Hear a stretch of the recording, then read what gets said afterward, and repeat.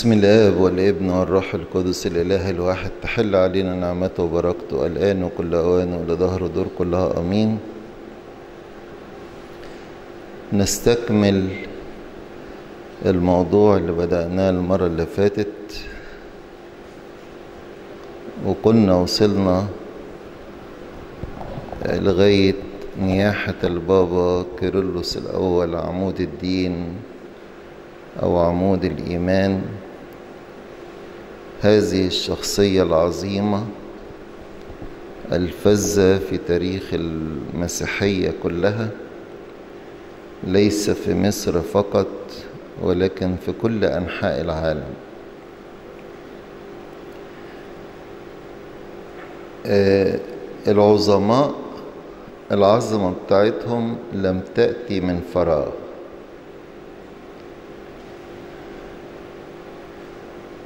وتاريخهم هو تاريخ جهادهم.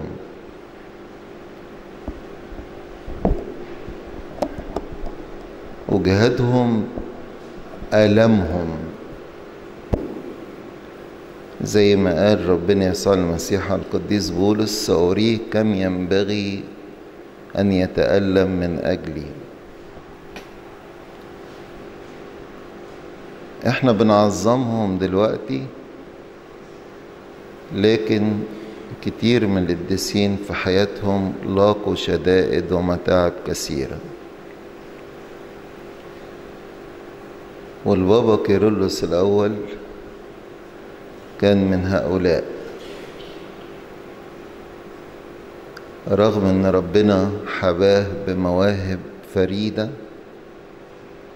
على مستوى البشرية كلها اداله صفاء روحي وبصيرة روحانية يقدر يفسر بيها الكتاب بعمل الروح القدس فيه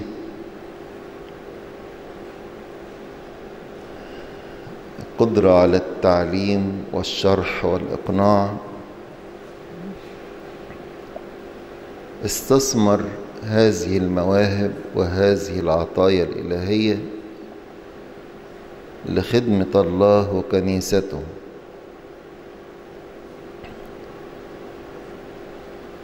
في الفترة الأخيرة من حياته عانى من جهاده في مقاومة بدعة نسطور وبعد مجمع أفسس رغم أن اتحكم على نسطور لكن استمر العناء بسبب بعض الشرقيين اللي كان لهم أساليب في المراوغة وعدم الاستقامة. بل والتزوير والتأويل والإدعاء على القديس كيرلس في أمور عديدة خليته عانى منها طول حياته بقية حياته. لكن الله دائما يحول الشر إلى خير. فكل ما كانوا يدعوا عليه أقوال لم يقلها وأفعال لم يفعلها وتعليم لم يقبلها فكان بيضطر يشرح بتفصيل أكتر وبعمق أكبر فكل هذه الشروحات أصبحت رصيد ثمين في الكنيسة المقدسة. من أكتر الحاجات اللي عانى منها البابا كيرلس الإدعاء الكاذب الخاص بمصالحة 433 زي ما قلنا إن مجموعة الأسقفة الشرقيين بقيادة يوحنا الأنطاكي وبزعامة سؤدوريتوس أسقف كورش. كانوا عايزين بيطالبوا إن القديس كورولوس يتنازل عن كتاباته وأقواله ولا سيما البنود ال 12 عشان يبقى في تصالح وما يتحرموش من الشركة. ده هم اللي محرومين كانوا محرومين المجمع حكم عليهم. ولكن بسبب خوفهم من سلطة الإمبراطور وسلطة المجمع المسكوني اضطروا إن هم يوقعوا على قرارات مجمع أفسس 431 وقبلهم القديس كورولوس كممثل لمجمع أفسس في الشركة إلا أنهم بالإدعاءات الكاذبة أشاعوا وأذاعوا إن هم تصالحوا بناء على إن القديس كورولوس بالفعل غير شرحه للبنود ال 12 وإن تم الاتفاق على صيغة إيمانية جديدة تقر بالطبيعتين ايدها وقابلها القديس كورولوس.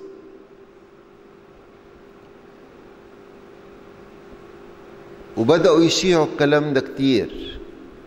القديس كورولوس في البداية ما كانش مصدق لكن لما تيقن بدأ يشرح ويقول صراحة ويعلن إيمانه بالطبيعة الواحدة للإله الكلمة المتجسد. ولما بنقول طبيعة واحدة لا نعني الطبيعة اللاهوتية فقط ولا الطبيعة الناسوتية فقط.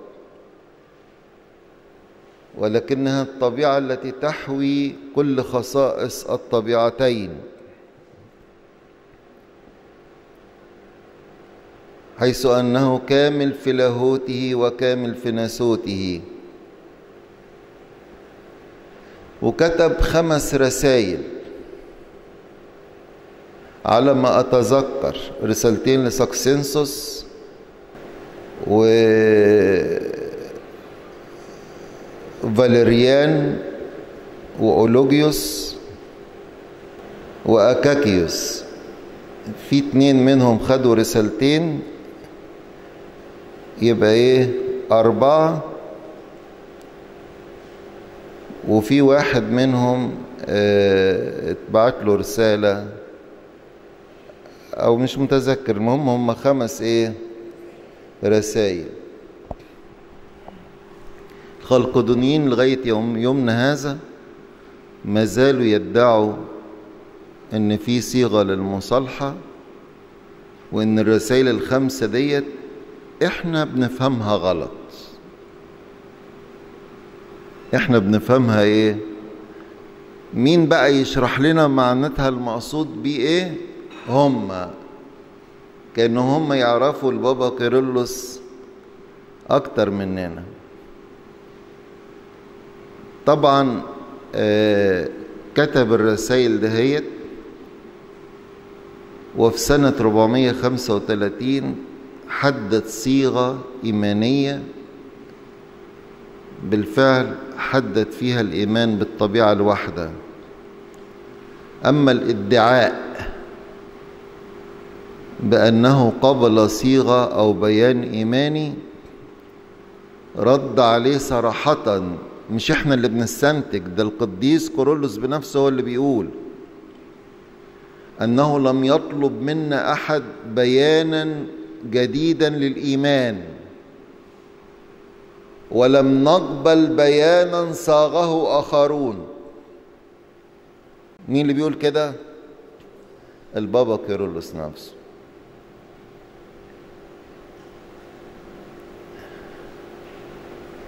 مع الإدعاء إن هم يدعوا هذا الكلام بدأ يبقى فيه نوع من التآمر حتى في حياة البابا كيرلس إن هم يرسموا أسقفة لهم نفس الاتجاه والفكر. وكان أكبر مثال لذلك المرة اللي فاتت قلنا رسموا مين؟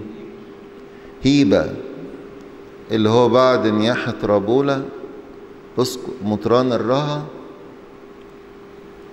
الرجل القديس اللي كان بيقاوم هيبة. فللأسف يوحنا الأنطاكي رسم هيبة مع إنه كتب رسالة ضد البابا كرولوس يتهم فيها أنه كان أبو ليناري وبعد كده تاب وقبل صيغة إيمانية جديدة تقر بالطبعتين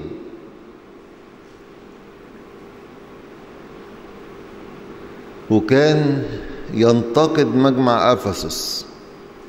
ده مين اللي كده؟ ده هيبة ورغم كده يوحنا الأنطاكي رسم أسقف على الرها مات يوحنا الأنطاكي سنة كام؟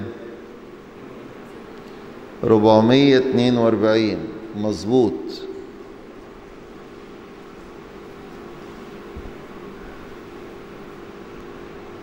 مين جه بداله؟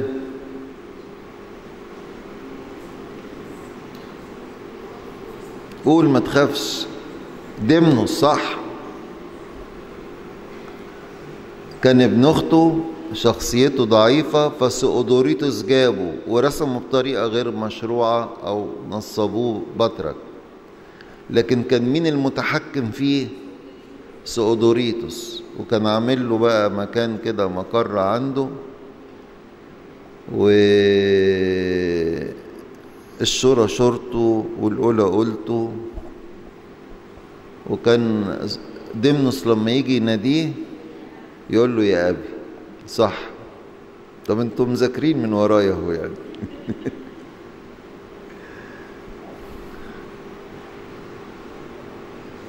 دمنوس بقى مين كان جه بقى بعد البابا كيرلس؟ القديس البابا ديسقوروس ورث الوضع ده الحقيقة. بعد نياحة البابا كيرلس بدأوا ينشروا الإدعاءات الخاصة بمصالحة 433 أكتر. لأن في حياة البابا كيرلس كان برضه هو موجود وبيرد. لكن رحل دلوقتي فيقولوا واللي يقول غير كده كأن هو اللي مختلف مع البابا كيرلس يعني كانوا يعتبروا البابا ديسكورس مش ماشي على خط البابا كيرلس مختلف عنه. مختلف إيه؟ عنه. لكن مين اللي ماشي زيه؟ هم. بناء على إيه؟ على الصيغة اللي بيدعوها مصالحة 433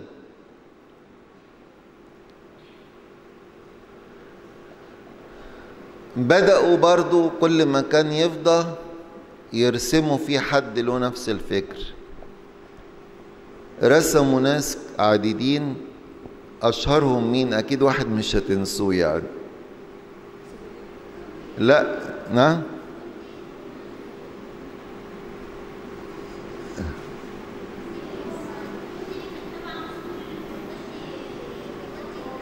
مظبوط. كان واحد كنت كنت دي رتبة رتبة في الجيش.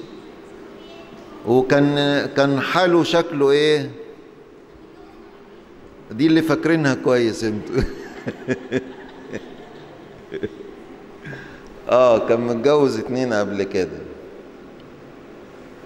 فطبعا آه بدأوا ينشروا الوضع ده أكتر.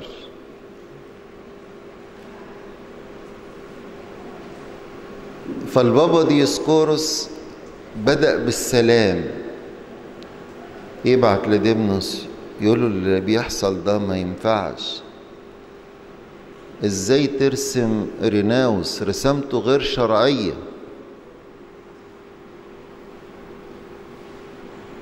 وبعدين يكتبوا كتابات ضد تعاليم البابا كيرلس.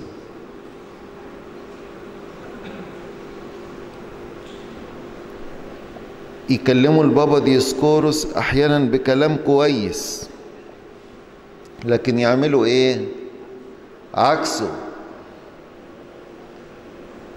وفي أحيان أخرى يقولوا له لا إحنا ماشيين على الاتفاقية. اتفاقية إيه؟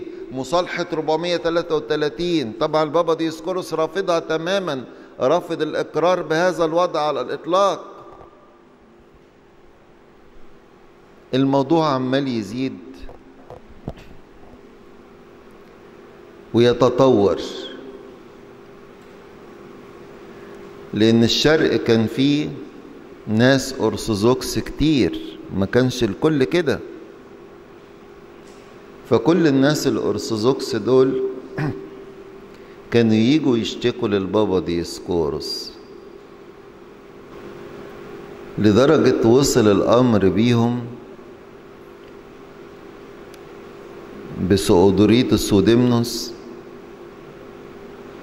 إن بدأوا يضطهدوا الأرثوذكس ويعزلوهم من مناصبهم ويرسموا بدلهم ناس لهم فكر نسطوري.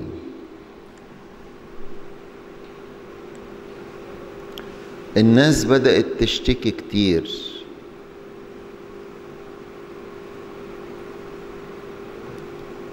والبابا ديسكورس يحاول معاهم مفيش فايدة.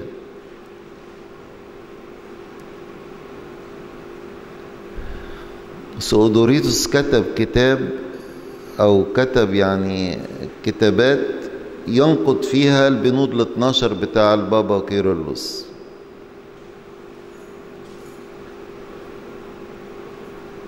وبدأوا عشان ما يجيبوش أقوال نسطور مباشرة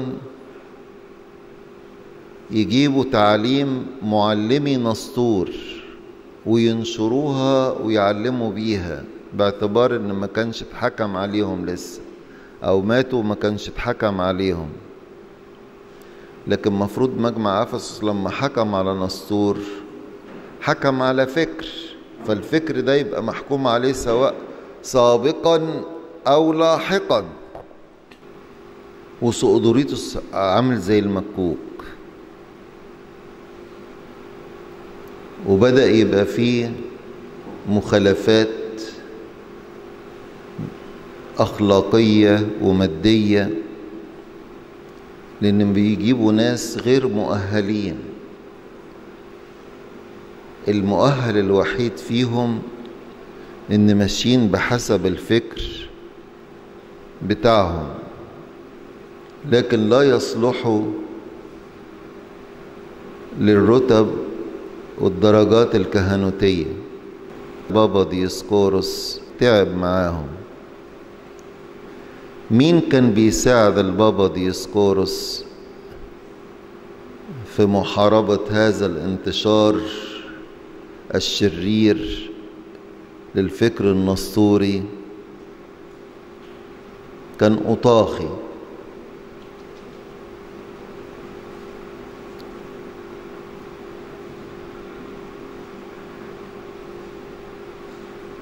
فلما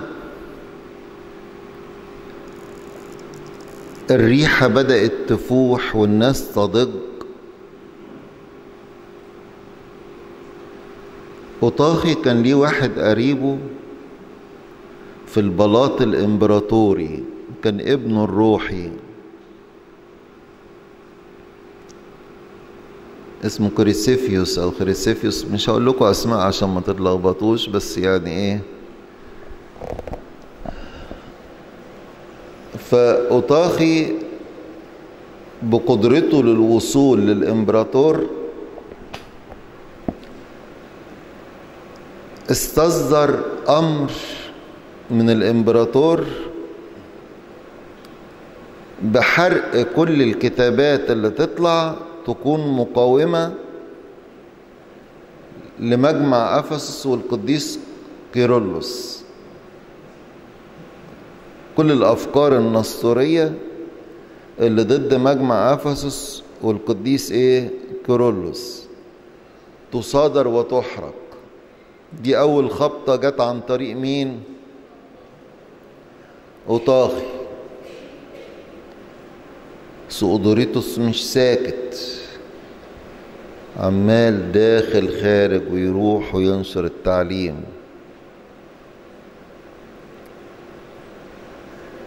فأوطاخي بصلته بالإمبراطور ويقدر يصل إليه ويبلغه. فالإمبراطور أصدر أمر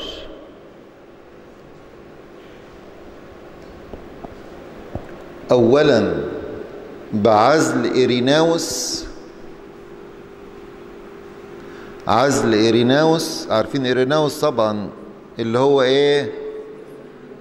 آه عشان تفتكروه يعني. وأمر بأن سؤدوريتوس يلتزم حدود أبروشيته ما يدخلش أنطاكيا وما يعني ما يتحركش في المنطقة كتير.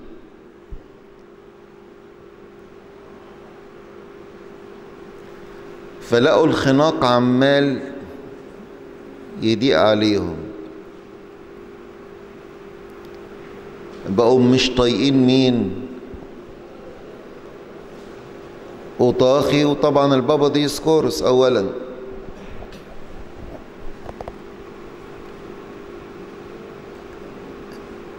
جه كان اسقف القسطنطينية.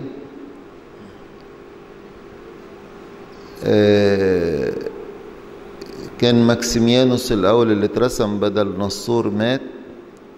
انتقل جه واحد بداله اسمه بروكلس ورحل. أنطاكيا قريبة من القسطنطينية. فبنفوذهم في المنطقة رشحوا حد أو جابوا حد اسمه فليبيانوس ماشي في الفكر معاهم. لكن مين أكتر واحد متغاظ بالتضييق اللي عليهم دوت؟ سؤدوريتوس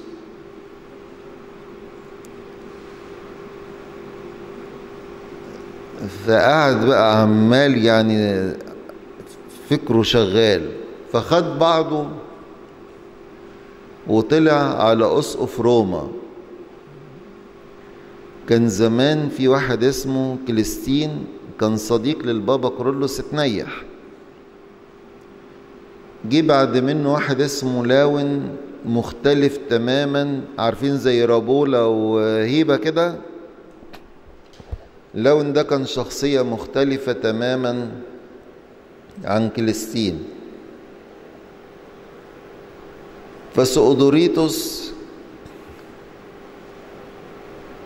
راح له كده وخد معاه شوية هدايا لتقوية الروابط ما بينهم وقابله وسؤدوريتوس وجه له احترام غير عادي. قعد ينفخ فيه. انت مفروض انت خليفة القديس بطرس الرسول. بطرس الرسول ده يعني الرئيس الرسل كلهم. ما كانش لسه في رئاسة إيه؟ بطرس والحاجات دي. مين اللي حطها في دماغه؟ سؤدوريتوس زمان لما كان القديس بولس بيبشر وكان ويحب تظهر أي مشكلة كان يروحوا عند بطرس ياخدوا منه الحل. وما تحصل مشكلة في الكنيسة أو حيرة في أي أمر يروحوا للقديس بطرس ياخدوا منه الإيه؟ الحل. فأنت خليفة بطرس الرسول. واللي تقوله لازم يمشي على الإيه؟ على الكل. الكلام جاي على هوا مين؟ جاي على هوا لاون. هو يقول وده إيه؟ منسجم ومبسوط. كلام كويس يعني. إزاي وإنت ليك المكانة دي كلها؟ وأنت خليفة ماري بطرس الرسول. تسيب خليفة ماري مرقس طايح فينا كده. ده القديس ماري مرقس ده كان تلميذ بطرس. مين اللي يخضع للتاني؟ كلام إيه؟ ماشي. وعمالين يعلموا تعاليم مش مظبوطة. طب انت شايف إيه يعني؟ أنا بصراحة شايف ان حضرتك تكتب وثيقة إيمانية. كل الكنايس تلتزم بيها بما إنك خليفة إيه؟ ماري مرقس. فيما يخص الإيمان بتجسد ربنا يسوع المسيح.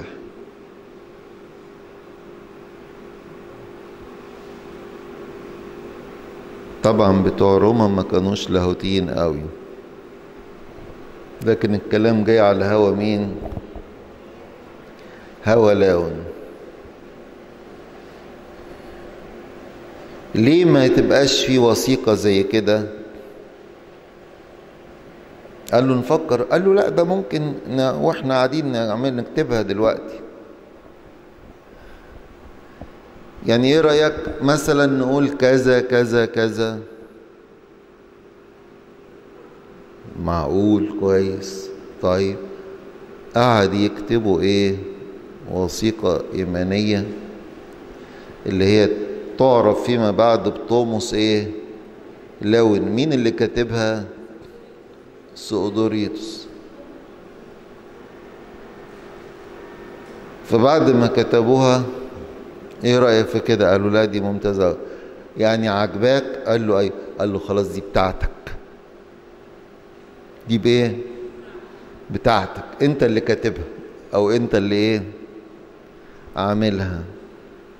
لابد كل الكنايس تلتزم إيه؟ بيها.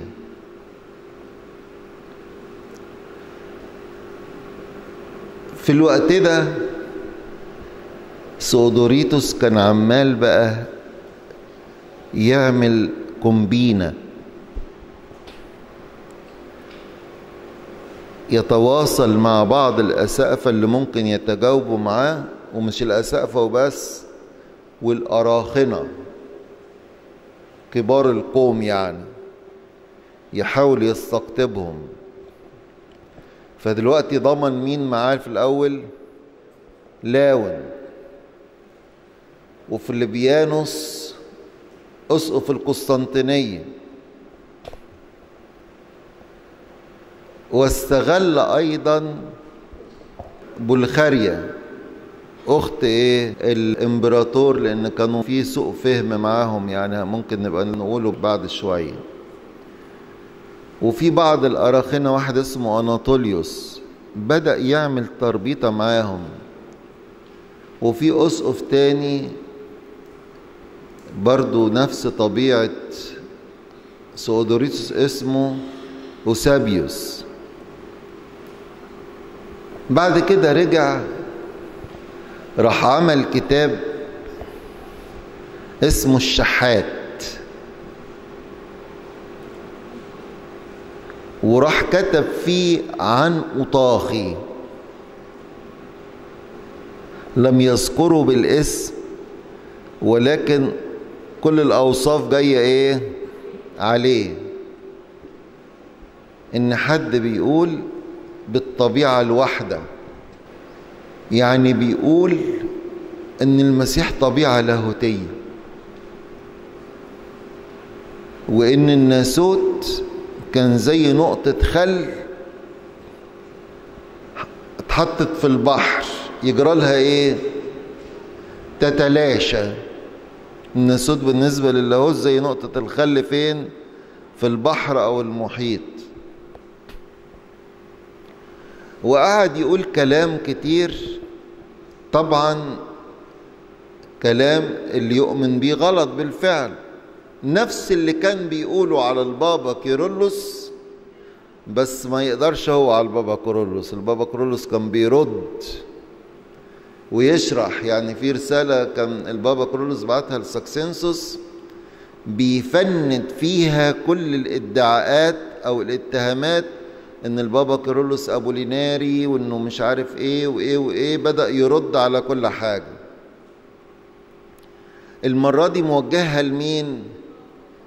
لأوطاخي مرضيش يعملها في البابا ديسكورس لأن برضه مش هيقدر.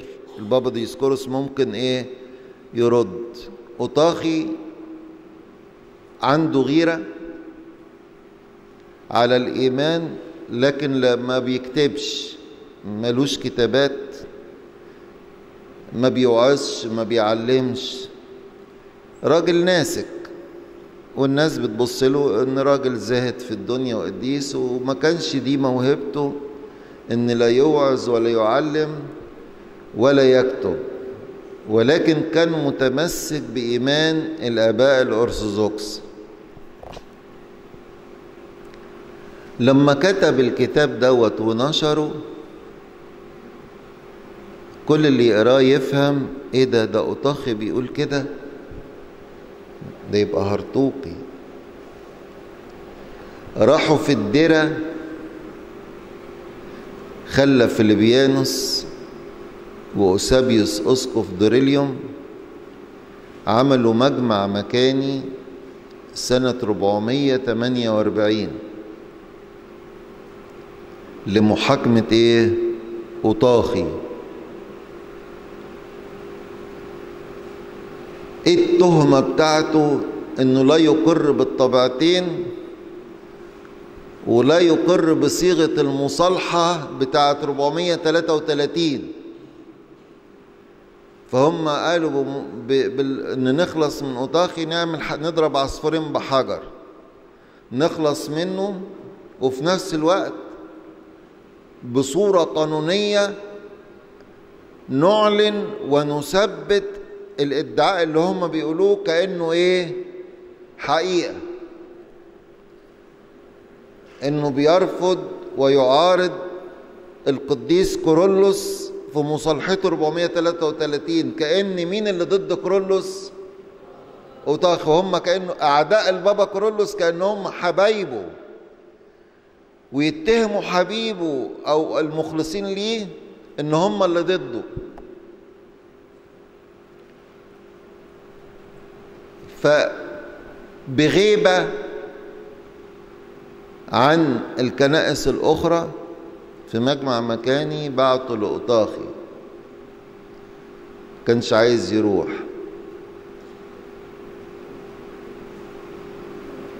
المهم راح. أما جه يكلموه في الإيمان قال لهم أنا كاتب إيماني في ورقه هقراها. قالوا لا ما تقراش.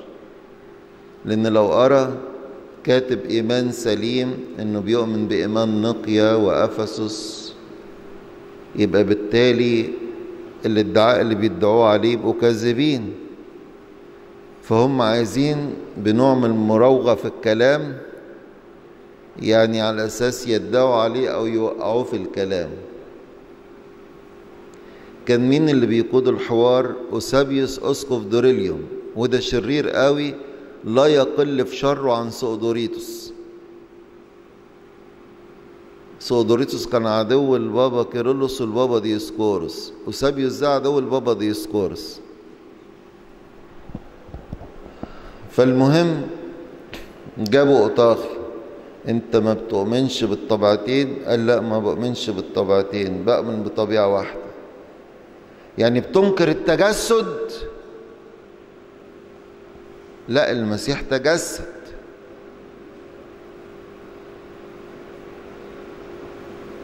تنكر إنه خد طبيعتنا؟ قال لهم لا ما خد طبيعة أمه. شوف هو بسطته في الكلام إزاي. خد طبيعة إيه؟ أمه. خلاص يبقى طبيعتين. قال لهم لا الآباء ما قالوش كده. الآباء قالوا طبيعة إيه؟ واحدة لكن هو كامل في لاهوته وكامل في ناسوته. ما هو لو قلت طبيعة واحدة تبقى كأنك بتنكر الناسوت.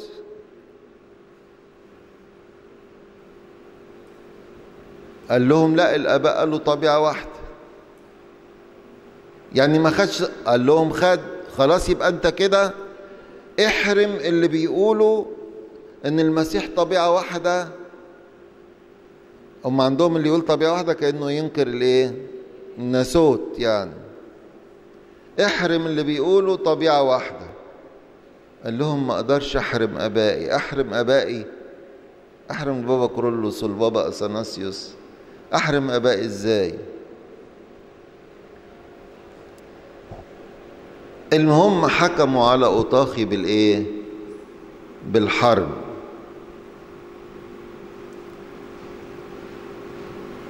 اوطاخي لما حكموا عليه وعزلوه بعد تظلم للبابا ديسكورس ولاون أسقف روما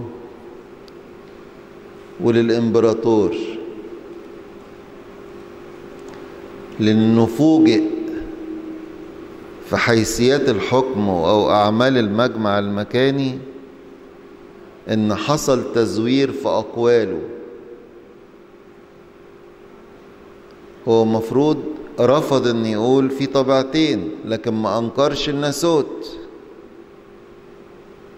ما أنكرش إن المسيح له المجد كامل في ناسوته فلقى إن في تلاعب وتزوير في أقواله. وهو كان بسيط. فبعت تظلم للإمبراطور. في الوقت ده فيليبيانوس وأوسابيوس مجرد ما صدر الحكم من مجمع مكاني أولا ده مجمع مكاني في حاجة تخص الإيمان. ما يخص الإيمان لازم يبقى مجمع مسكوني. لكن لو شيء سلوكي أو إداري يتحكم عليه مكاني. فيليبيانوس وأوسابيوس بعتوا الحكم لأسقف أنطاكيا والأسقف روما لكن ما بعتوهوش لا للبابا ديسكورس ولا أوستاثيوس أسقف بيروت يعني اللي يشوفوهم هم أرثوذكس ما يبعتوا لهمش. أوطاخي اتظلم للإمبراطور وطعن بالتزوير. الإمبراطور كان راجل طيب وتقي رغم إنه بيحب أوطاخي ويثق فيه ما رفعش الحكم من عليه لكن مشي رسمي لأن ما كانش بيتعدى الكهنوت طالما في مجمع حتى لو مجمع مكاني حكم عليه مش أنا اللي إيه اللي هفيده لازم مجمع هو اللي إيه يعمله. فأنت بتشتكي من إيه؟ قال زوروا أقوالي وزوروا في أعمال المجمع. فالإمبراطور بطريقة إجرائية قانونية سليمة شكل لجنه من بعض الأساقفة لدراسة وفحص أعمال مجمع القسطنطينية 448 المكاني ويشوفوا هل اللي قالوا اللي بيدعيه أو بيشتكي منه اوطاخي صحيح ولا مش صحيح. اللجنة خدت وقتها وجابت أعمال المجمع وفحصوا جلسة بجلسة كل الأقوال وبالفعل ثبت التزوير. وتأكدوا إن كلام أوطاخي كان إيه؟ حصل تزوير. مين خجل جدا ومبقاش يعني قادر يوش يودي وشه لحد؟ فيليبيانوس أسقف القسطنطينية اللي هم اتصاحبوا عليه وخدوه معاهم وصدروه في هذا الأمر. فيليبيانوس لما لقى وضعه محرج قوي وإنه تثبت عليه إنه في تزوير حصل راح قدم استقالته للإمبراطور. أنا يعني بطلب استقالتي إن أبقى بترك للقسطنطينية.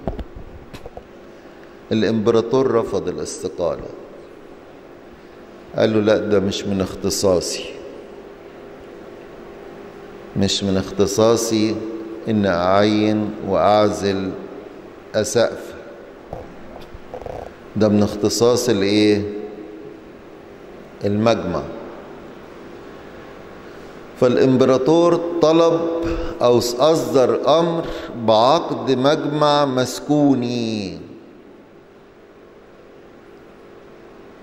إنه ينعقد كان في سنة 449 في أفسس. وعمل حاجة إجراء جديد عشان يضمن الحيادية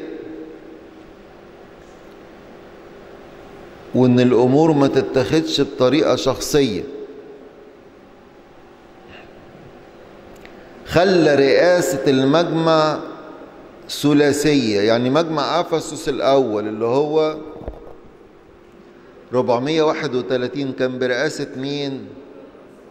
البابا كرولوس مجمع القسطنطينية 381 كان برئاسة مين؟ أنا ما اديتها لكوش دي بس بسأل بقى القسطنطينية 381 كان برئاسة مين؟ عارفين لو ما قلتوش.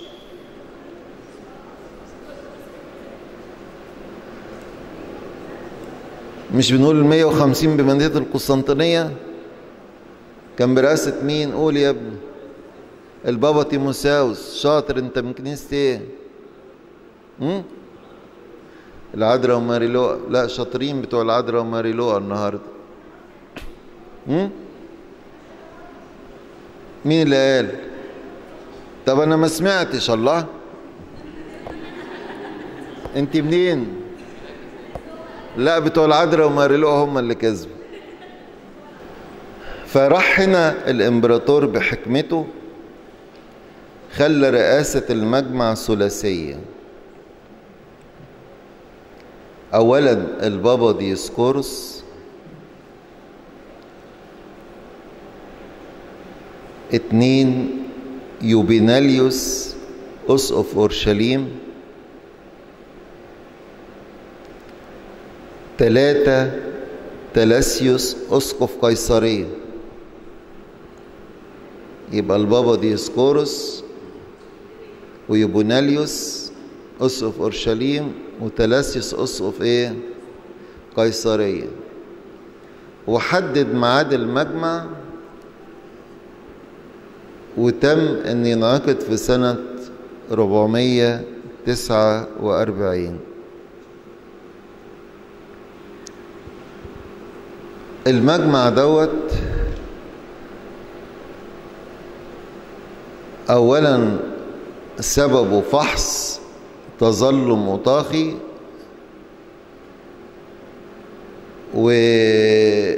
وبسبب البلبلة اللي حاصلة من اللي ظلموا وطاخي لأن بيدعوا تعاليم مش مظبوطة أو بيشيعوا تعليم مش مظبوطة. المجمع انعقد بالرئاسة الثلاثية والإمبراطور أصدر أمر بعدم حضور أشر اتنين. كانوا اتنين أشرار قوي وقال دول ما يحضروش. إلا لو المجمع احتاج يجيبهم.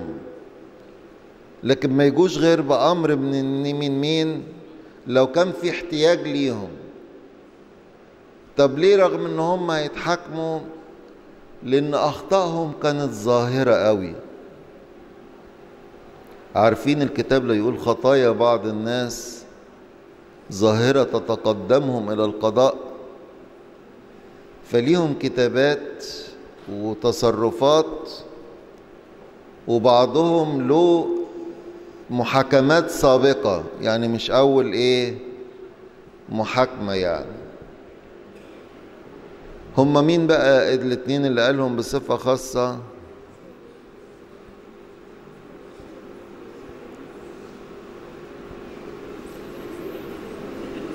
سودوريتوس ومين تاني؟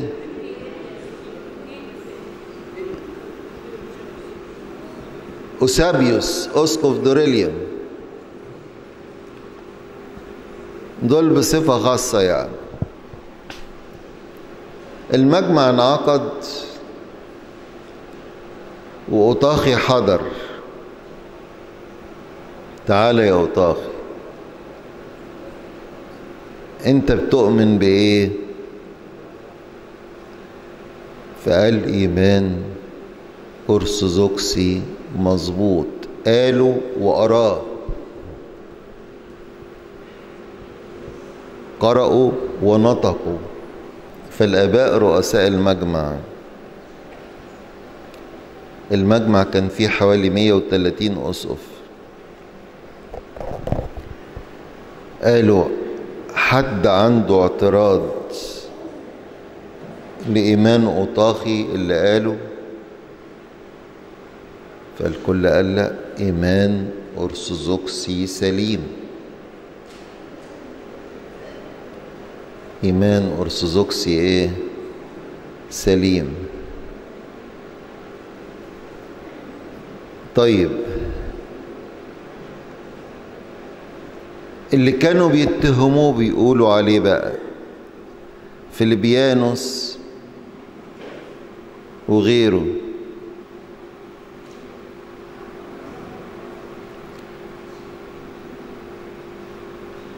ف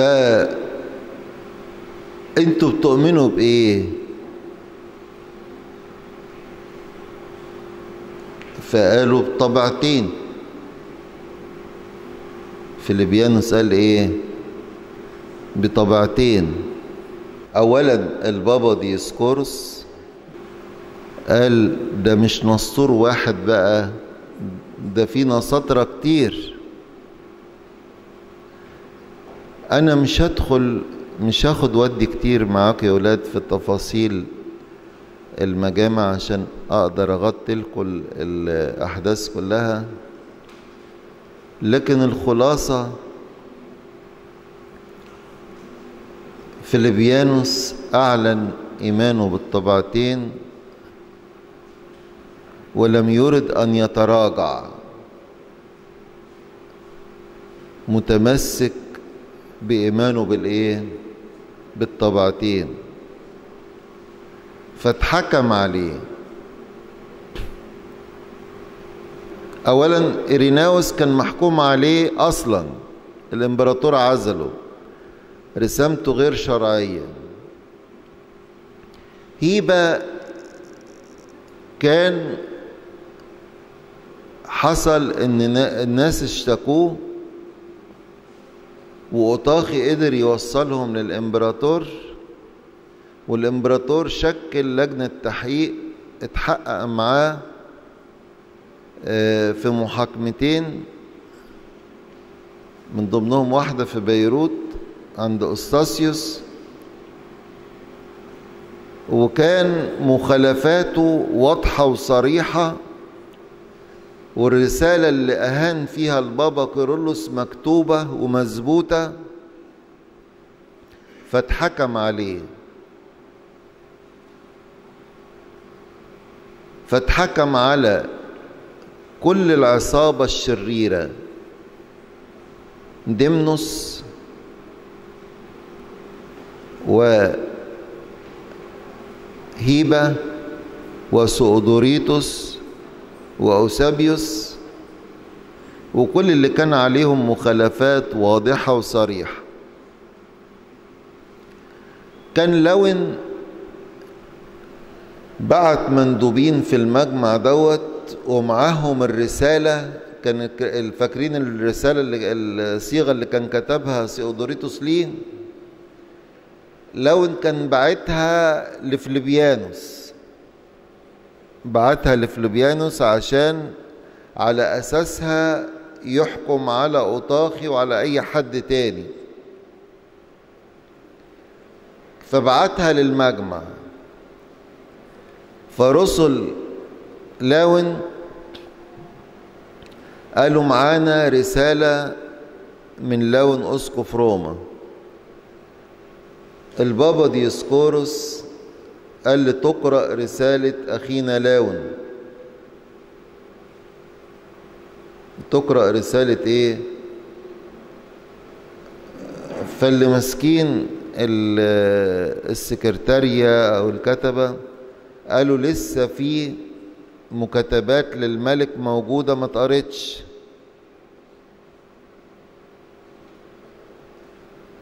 فأجلوها. حصل مرتين الوحيد في الثلاث رؤساء بتوع المجمع. طلب إن تقرأ رسالة لاون ويأجلوها الباقيين. وما اتقرتش. واتضح إن هم كانوا بيأجلوها لأن لو كانت اتقرت كان لون هيتحكم عليه. لأن فيها كل فكر نصور صراحة. فما حبوش في غيابه كمان إنه يحصل إيه؟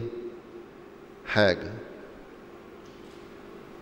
المهم كل مجمع الشر دوت اتحكم عليهم وحصل هدوء وسلام في الكنيسة. الإدعاءات وقفت. والاضطهادات وقفت وبدأ الناس تشم نفسها وتعيش في سلام وهدوء. سؤدوريتوس وأوسابيوس أول لما اتحكم عليهم خدوا بعضهم وراحوا على مين؟ على لاون. يرضيك كده يتحكم علينا. سايب أسقف اسكندرية طايح فينا. فرح لا لاون بطريقة غير شرعية وغير قانونية. أعطى الحل والشركة لسؤدوريتوس وسابيوس. فاكرين لما البابا كيرلس جوله لما بعتوا له قالوا له في ناس كان حرمهم ماكسيميانوس حللهم مرضيش. البابا ديسكوروس رغم إنه كان يحب أوطاخي ويثق فيه لما اتحرم ما احلوش غير بالمجمع. لكن لاون خالف كل الأعراف والقوانين وأعطى الحل لسؤدريتس وأوسابيوس وخلاهم معاه هناك. وبعت رسالة لفلبيانوس وبدأوا يتواصلوا مع بعض. وحمي غضب لاون وبعت للإمبراطور يطالبوا بإلغاء كل ما تم في مجمع أفس. بما إني خليفة ماري بطرس الرسول. طبعا النعرة ديت ما اتقالتش قبل كده ولا عمرها اتقالت والإمبراطور عارف كل الإجراءات اللي تمت. فيعني لا حق له فيما يقول يعني. فالإمبراطور رفض. ففاكر لما هيهدد هي يعني الناس هتستجيب. فبدأ يوطي الصوت شوية. يقول له الإيمان اللي بينشروه مخالف لإيمان نقية الإمبراطور شايف وعارف إن الإيمان أرثوذكسي ومفيش أي مخالفات. لقى مفيش فايدة فراح للإمبراطور الغربي. خلي بالكو كان إمبراطور الشرق وإمبراطور الغرب قرايب. عيلة واحدة حاكمة الشرق والإيه؟ والغرب. فكان إمبراطور الغرب متجوز بنت الإمبراطور ثيؤدوسيوس امبراطور الشرق وفي نفس الوقت يبدو كانت بنت خالته. فراح لاون يبكي للأسرة المالكة في الغرب في روما للإمبراطور ومراته وأمه ويحكي لهم إن ناس اتظلمت جور وظلم والإيمان بينتهك. والإمبراطور سؤدوسيوس يعني مش عايز يعني إيه يستجيب ليا. ويعيط. يعيط جامد قوي أما يتكلم مع آخرين كان كده لكن هناك عيط. فالمهم بعتوا الامبراطور بعت لحماة كان في مقام أبوه وبنته بعتت له وحمات بنته بعتت له يترجوه. يا ريت يعني إيه تريح لون وبيشتكي إن في ناس اتظلمت عندك. فيا ريت الظلم ده يترفع يرفع الظلم اللي حصل. فالإمبراطور طبعا بيتعامل مع أولاده. رد عليهم بأسلوب أبوي حلو. قال لهم ما تقلقوش لأن كانوا صدقوا وبيتكلموا بعاطفة إن في ناس مظلومة اتظلموا واتبهدلوا من المفتري بتاع اسكندرية ده اللي طايح بيستغل إن كرسي غني. كان زمان اسكندرية دي أغنى بلد في العالم. فيفتكر إنه واخد قوته من إيه؟ بيستغل إنه غني ومشتري. بيشتري البلاط الملكي هناك بفلوسه. يقولوا كده ادعاءات على بابا الاسكندريه فهم طبعا بمشاعر رقيقة بعتوا له وسودوسيس كان كبير بقى محنك دول شباب صغير. فالراجل كان محنك في الوقت ده وشايف وعارف اللي بيحصل وحضر بقى كان مجمع افسس ال 431 ومصالحة 433 وشاف اللي اتقال فيها إيه وهو اللي كان محدد إن لازم يلتزموا بقرارات مجمع افسس وعرف الادعاءات اللي بتتقال. يعني كاشف كل حاجة وعلى دراية بالتفاصيل. طيب خاطرهم وطمنهم قال لهم تأكدوا إن مفيش ظلم حدث. وتأكدوا إن الإيمان المسيحي في غاية الكمال. ولم يمس. وإن كل شيء وإجراء تم تم بحق وعدل. فلما قال لهم كده اقتنعوا طبعا بكلام مين؟ أبوهم أو يعني الإمبراطور.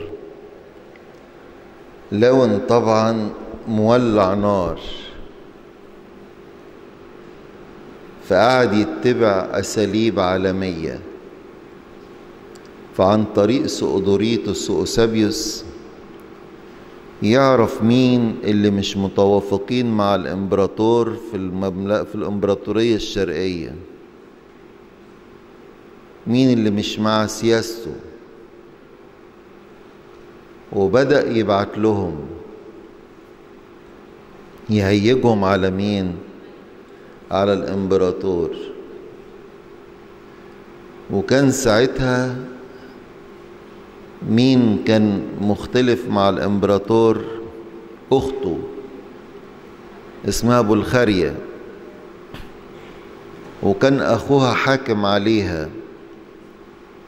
في بيقولوا إن هي كانت نذرة للبتولية. لا دي كانت في الدير كنوع من إجراء تأديبي. طبعا في حاجات ما أحبش أقولها في المحاضرة كده لأن كان في يعني سلوك مش كويس حصل فحكم عليها كنوع من الحبس. بس لأنها من الأسرة المالكة فإنها تقعد فين؟ في دير للراهبات.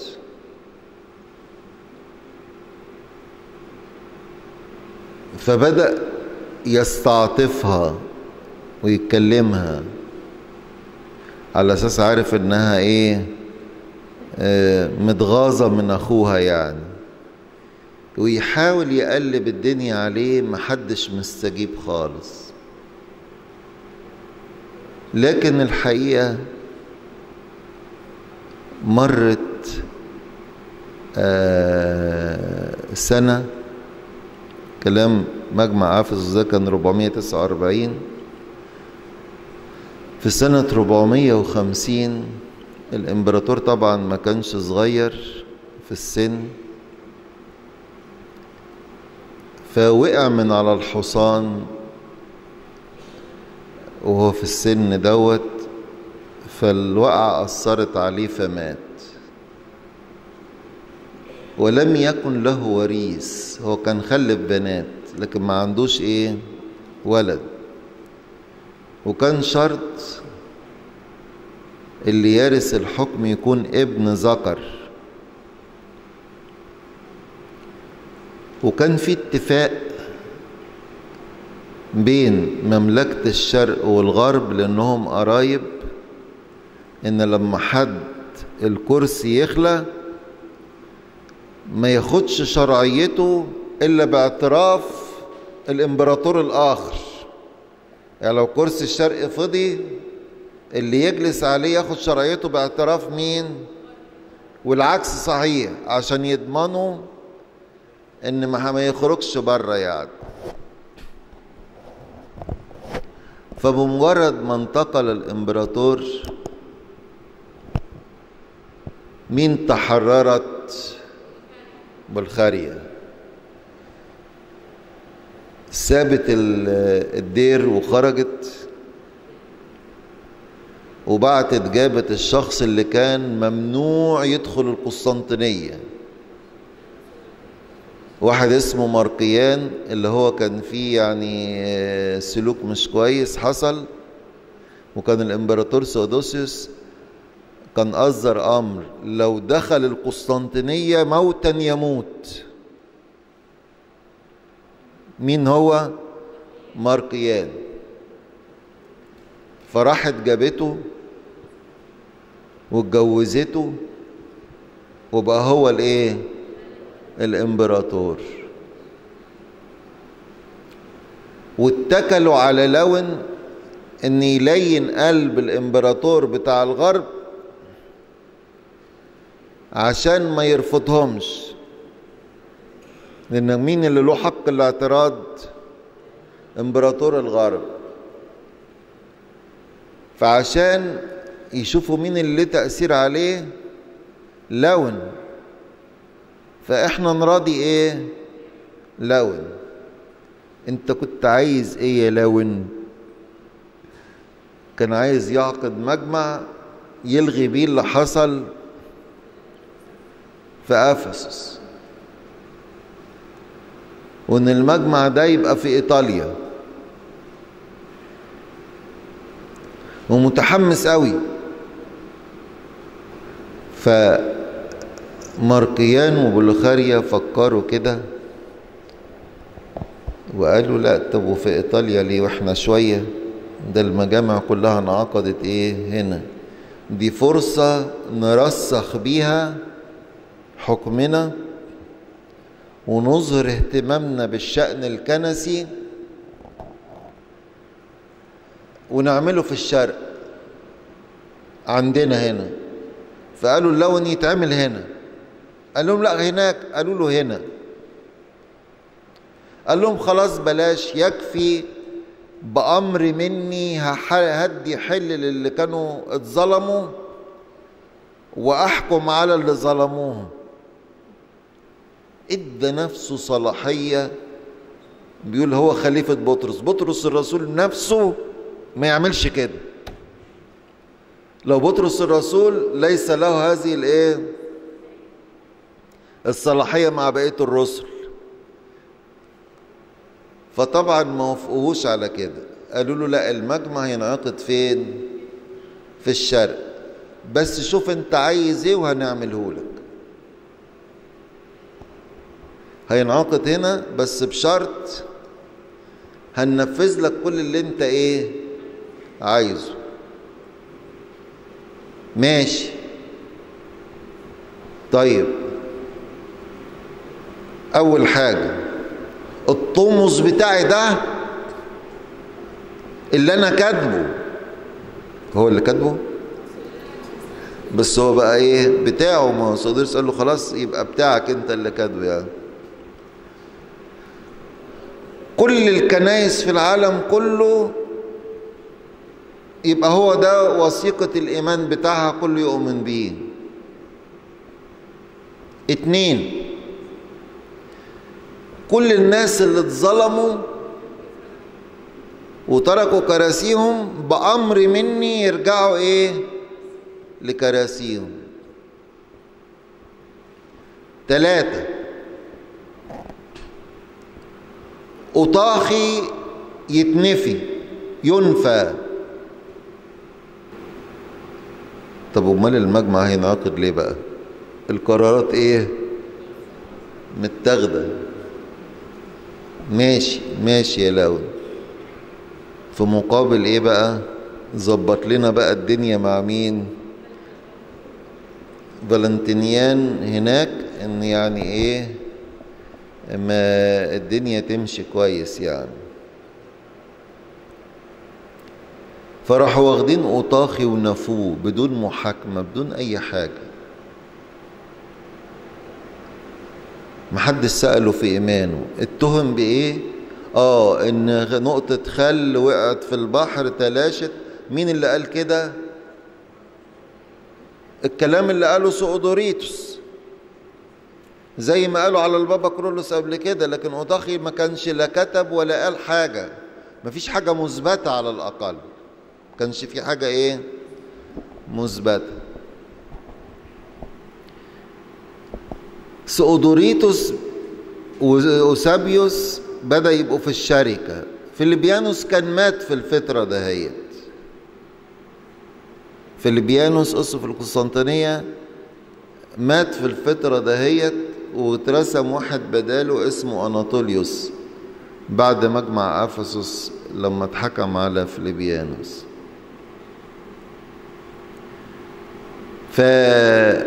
فسؤدوريتوس يرجع وهيبة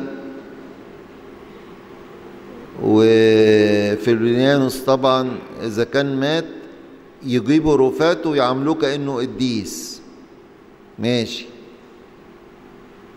ديمنوس اللي هو كان بطرك أنطاكيا ده هو أصلا ملوش في الإدارة وفي الحاجات دهيت. ما بصش لحاجة وقعد في الدير كمل حياته في الدير زي ما زي ما كان قبل ما ياخدوا سؤدوريتوس وبدأ مارقيان وبلخاريا يعلنوا في كل الكنايس إن في مجمع. بس أنا عايز أقول لكم على حاجة. مين اللي ورا المجمع دوت بالفعل في حاجة أنا ما قلتلها لكوش لون في الأول طالب بمجمع وكده وبعد كده سكت. أول لما الإمبراطور سودوسيوس مات مين كان مقوي علاقته ببوليخاريا وبالناس الأرستقراطيين في المنطقة وبالناس دي كلها؟ سؤدوريتوس. فكان مصاحب واحد اسمه أناطوليوس من الناس المناصب العالية قال له بلغ الإمبراطور يعمل مجمع في الشرق هنا. ونفذوا إيه؟ كلامه. فبدأ يعلنوا إن في مجمع بس كان اتفقوا مع لاون اشترطوا إن لازم نتيجة المجمع تبقى مضمونة من قبل ما ينعقد. لأنه بيخاف من مين؟ من البابا ديسقورس فلازم يكون الكل موقع على طومس لاون وسؤدوريتوس لكنه لأنه كان قريب نسطور قال ونسطور يجي كمان اتظلم. يجي. فلما بعتوا النسطور عقيدة توماس لاون الصيغة دهيت قابلها لأن نفس الفكر إيه؟ بتاعه.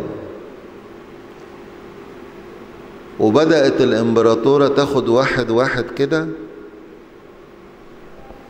حتى أسقف القسطنطينية اللي رسموا البابا ديسكوروس والأسقفة بتوع مجمع أفسس 449 جابته أول واحد لأن كان الخوف من ده شوية. لأن كان فكره مش زيهم. تعالى عايزينك. مم. وقع على الإيه؟ الصيغة دهيت والعين الحمراء إيه؟ بصاله يعني كده. حاضر. وراح إيه؟ جابوهم واحد واحد كده وفضلوا إيه؟ يوقعوا. ضمنوا إن في مجموعة كبيرة وقعت فبدأوا بقى يحددوا ميعاد المجمع وييجوا تباعا. فبعتوا يستدعوا نصور كان فين نصور في الوقت ده؟ في مصر؟ فين؟ في أخميم؟ فين حتة؟ في المكان اللي فيه الأنبا شنودة رئيس المتوحدين. فبعتوا يجيبوهم. القرار لما جه أو الميعاد جه للبابا ديسكورس اتعجب المجمع ده ليه؟ الإيمان في غاية الكمال ومفيش مشكلة. قالوا له لا الإمبراطور هو اللي داعي لإيه؟ لمجمع. نسطور لبى النداء خد بعضه وجري رايح وهو فرحان. وهو في الطريق جدف على الست العذراء. جدف على مين؟ على العذراء يعني. فاكرين أريوس حصل له إيه؟ لما السلطة الزمنية فرضته على الكنيسة جراله إيه؟ عارفين ولا مش عارفين؟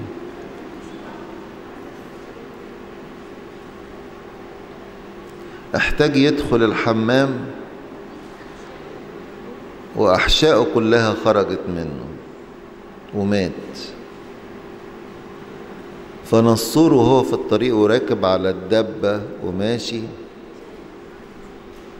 اتكلم مع الست العذراء بأسلوب لا يليق. فوقع من على الدبة لسانه اللي تلفظ بيه اتقطع.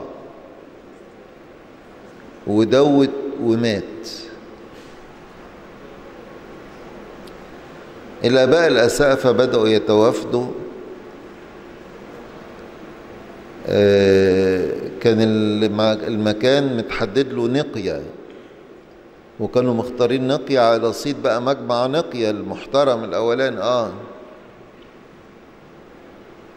فالكل رايح. البابا ديسكورس بمجرد ما وصل آسيا الصغرى عرف أخبار كتيرة ما كانتش واضحة. عرف إن كل اللي حكم عليهم المجمع المسكوني سؤدوريتوس وهيبة وأوسابيوس لون رفع الحرب عنهم وقابلهم في الشركة وطوموس لون بقت منتشرة في كل مكان لأن كانت بقى كأن هو ده إيمان الإيه؟ الكنيسة أول لما وقعت قدام البابا ديسكورس هو والأسقفة اللي معاه حرموا لون حكموا بالحرم على مين؟ على لون دي أول حاجة إيه؟ عملها. وصلوا كان في تكتيك في التعامل مع بابا الإسكندرية بالذات كان له إيه؟ تكتيك خاص. قال يا ريت نخلص الموضوع قبل المجمع. ونتجنب الدخول في مناقشات لاهوتية.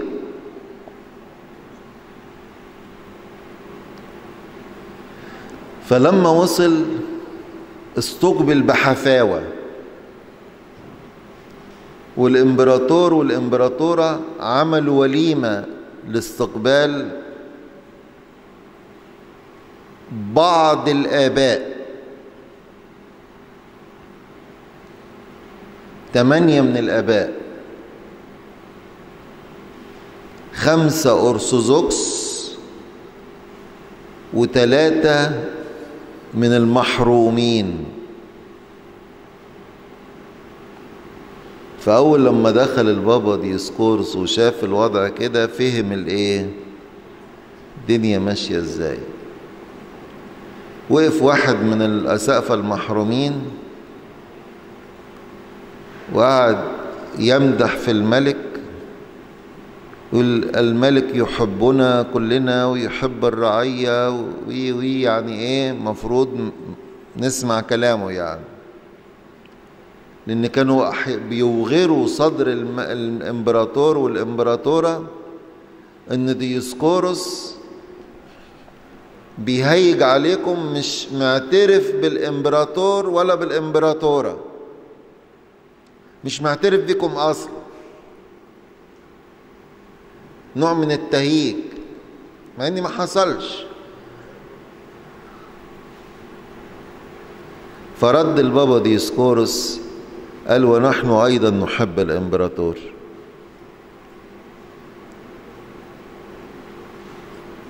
فجه بقى يدخلوا في الجد إن عايزين الكنيسة تبقى واحدة فعايزين إيه؟ الطوموس دهيت الكل يوقع عليها. فالبابا ديسكورس بكل شجاعة قال جلالة الإمبراطور الله أعطاه الحكم ويديه الصحة والعمر الطويل ويحكم. لكن الأمور الكنيسة وما يخص الإيمان الكنيسة أو الآباء أو المجمع هو اللي يحكم إيه؟ فيه. مين اتغاظ من الرد؟ بلخاريا. وتصرفت بطريقة لا تليق. ده اسلوب تجاوب بيه الامبراطور ويبدو انها إيه تطاولت باليد كمان. قالت له خليك افتكر كويس. كان في واحد زيك كده أيام أمي إفدوكسية. وكان دماغه ناشفة. زيك. وانت عارف إيه اللي جراله كانت تقصد مين؟ القديس يوحنا ذهبي الفم. أما اتنفى وقف قدام الإمبراطورة فنفوه ومات في المنفى. فرد عليها البابا ديسكورس. قال لها وأنت أيضا تذكري ماذا حدث لها؟ وأنها لم تجد راحة وتعبت ومرضت ولم ترتاح إلا بعد ما راحت عند قبره وقدمت توبة. فطبعا الايه اتغلت لا بالعكس هي اتغلت كده والجنود اللي حواليها طبعا بيجاملوا بقى. فتعدوا عليه فاسنان في له اسنان اتكسرت ولحيته طبعا. بعتهم لشعبه في مصر. أصبح لا مفر في المواجهة في المجمع. فحطوا خطة إن في المجمع مش هنفتح أي موضوع يخص الإيمان. هنتكلم معاه في الإجراءات. لأن لو فتحوا موضوع الإيمان واللاهوت والحاجات دي عارفين إن حجة آبائنا قوية. ولهم ثقلهم وتأثيرهم على الآخرين. فبيتجنبوا الحاجات ديت وقالوا نمشي في الإجراءات. راح المجمع والأول مرة في مندوبين للإمبراطور مدنيين كانوا يقودوا المجمع من الناحية النظامية. 18 واحد من كبار رجال الدولة والقضاة يتقدمهم ويرقصهم واحد اسمه أناطوليوس كان الصديق الحميم لمين؟ لسيودوريتوس كان عمل معاه صحوبية من زمان. اجتمعوا وفي مكان المكان الفخم الكبير مندوبي لاون قعدوهم فيه. هما وأناطوليوس بطرك القسطنطينية وخلوا مكان البابا ديسقورس وآخرين الناحية التانية. فرايح يقعد مكانه اللي هو حطوه في مكان أقل شوية من مندوبي روما. وإذ بمندوبي لاون هاجوا وماجوا قالوا لا يجلس كقاضي. ولكن يأتي للمجمع كمتهم.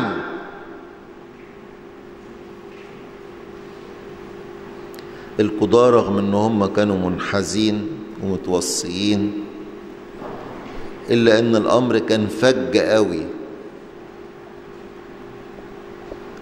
قالوا لهم هو لسه اتحكم عليه بحاجة عشان تحكموا أنتوا عليه يجلس يعني أما يتناقش الأول ويتحكم عليه يبقى ما يجلس في مجلس القضاء يعني.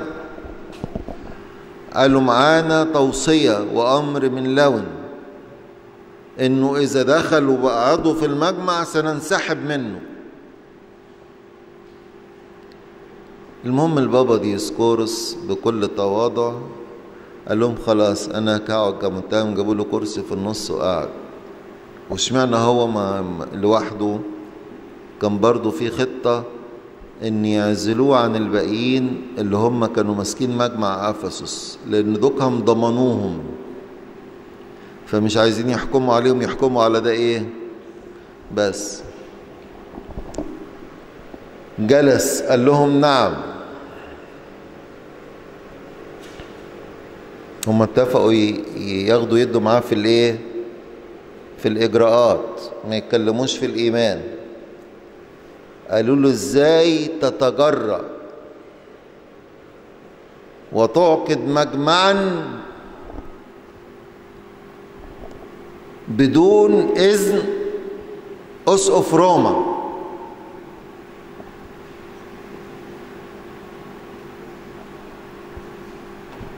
حاجة عجيبة قوي. قال لهم ومن إمتى المجامع بتنعقد بإذن أسقف روما؟ مجمع نقيا انعقد بقرار من الإمبراطور قسطنطين.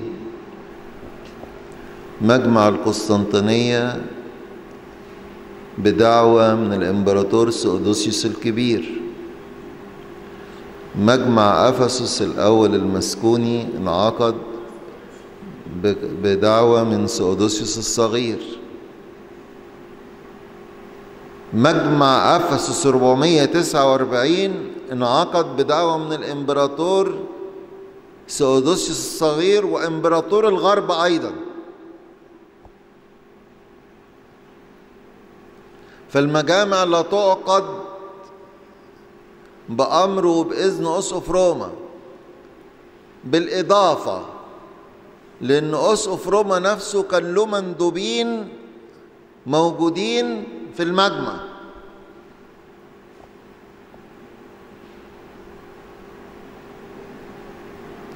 أول اتهام طلع على فشوش في شنك يعني آه. يعني إيه فشوش؟ هتخلونا أبحث عنها بعد كده في المعجم. فشوش. اتهام آخر.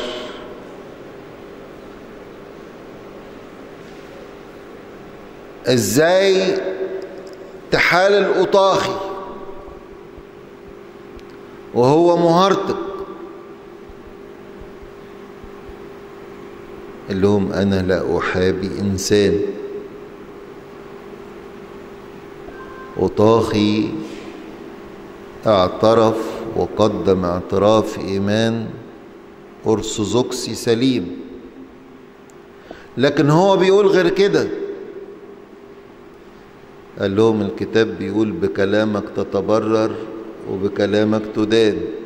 اللي قاله في المجمع واللي كتبه واللي قدمه إيمان سليم. وبعدين مش أنا بس اللي حلته ده المجمع كله حله.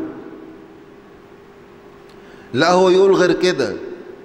قال لهم أنا لا أحابي احدا. ده لو كان قال غير كده مش يستحق الحرب بل يستحق نار جهنم أيضا. أو الحرق أيضا يعني.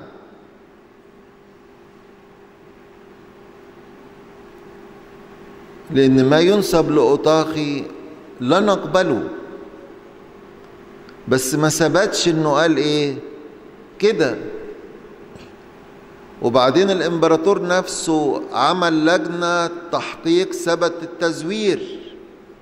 ولما جه مجمع أفسس قدم اعتراف إيمان سليم.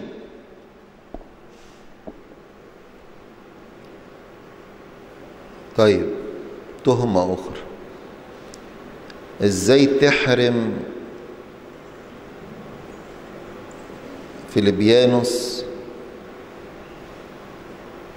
وأوسابيوس.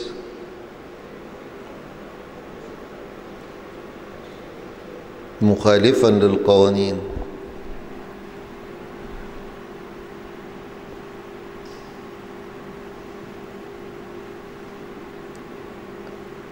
قال لهم أنا أولا أوسابيوس. وما اديتش فرصة لأوسابيوس يدافع عن نفسه. قال لهم أوسابيوس ما حضرش بأمر من الإمبراطور. مش مني. وفليبيانوس لأنه أقر بالطبيعتين. المهم يا ولاد يعني مش هقدر أدخل معاكم في تفاصيل المجمع كله.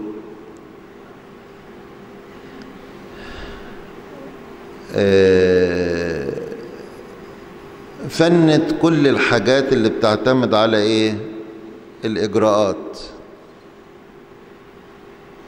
حتى بيقولوا له إزاي تحالل فلان وغيره وهو محروم من مجمع مكاني واللي حله مجمع مسكوني.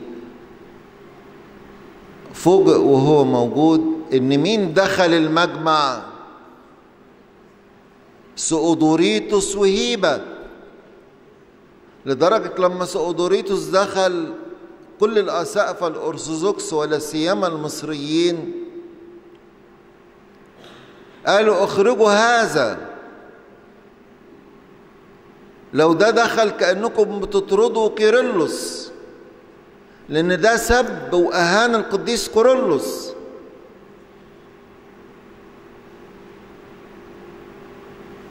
فقال لهم أنتوا بأي حق دخلتوهم وهم محرومين بقرار مجمع مسكوني؟ وفليبيانوس كذلك. وبعدين نتكلم في الإيمان. قالوا له لا نخلص الإجراءات الأول. مش عايزين يتكلموا فين؟ سواء أوطاخي قال إيه أو فيليبيانوس قال إيه. نتكلم فيما يخص الإيمان. قالوا له ما نخلص الحاجات دي الأول. طيب أنتوا بتحاسبوني بتقولوا لي مثلا حكمت على فليبيانوس أو قابلت أوطاخي. طب هو أنا إشمعنى بتحكموني أنا؟ هو المجمع كان كام واحد؟ كان في ثلاث رؤساء والمجمع 130 معظمهم موجودين دلوقتي. إشمعنى أنا اللي إيه بتحكموني؟ ففي بعض الأشخاص اللي هم كانوا خضعوا ليهم قالوا اتغصب علينا. اتغصب إيه؟ جاب لنا ورق أبيض وقعنا على بياض. بطريقة مهينة ليهم. هم قالوا كده ومين دمهم فار؟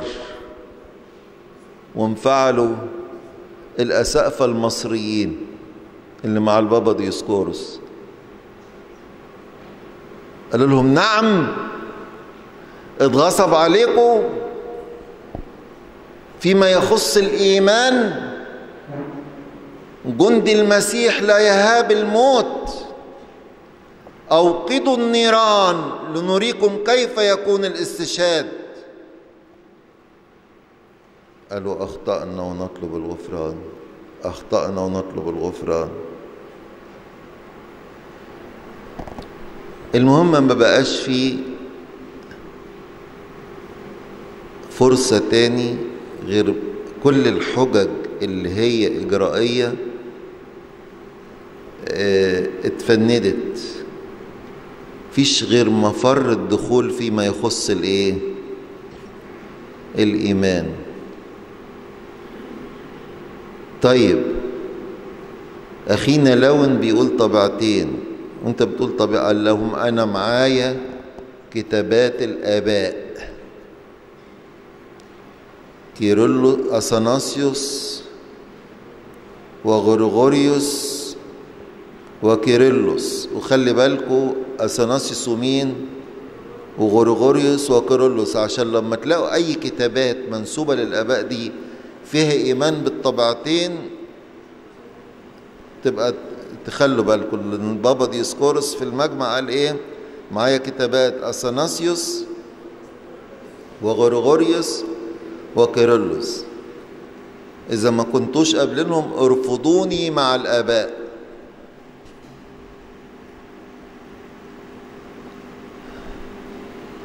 فما كانوش جايبين سيرة البنود ال 12 خالص تجاهلوا البنود ال 12 حتى الافتتاحية بتاعة مجمع خلق دنيا اللي هي الخطاب الملكي قال إن إحنا بنجتمع في ضوء ما تسلمناه من الآباء الرسل ومجمع نقية ورسالة لاون. ما جابوش سيرة مجمع أفسس ولا القديس كورولوس ولا البنود الاثناشر خالص. وكأن رسالة لاون ديت لها صيغة صفة قانونية كنسية. في حين إن كتابات القديس كورولوس ولا سيما الرسالة اللي تحوي البنود ال 12 لها صفة قانونية لأن خدت شرعيتها وقانونيتها من مجمع أفسس. فقال لهم أنا معايا الآباء دول. وصدر لهم مين؟ مين أكتر واحد اتكلم في الموضوع ده؟ البابا كيرلس ولا سيما فين؟ في البنود ال 12 فلما اتزنقوا ما بقاش في مفر. قالوا خلاص ترفع الجلسة وتعقد بعد خمسة أيام تعطى فيها الفرصة لمقارنة الطومس بتاع لون في ضوء البنود ال 12 للقديس كورولوس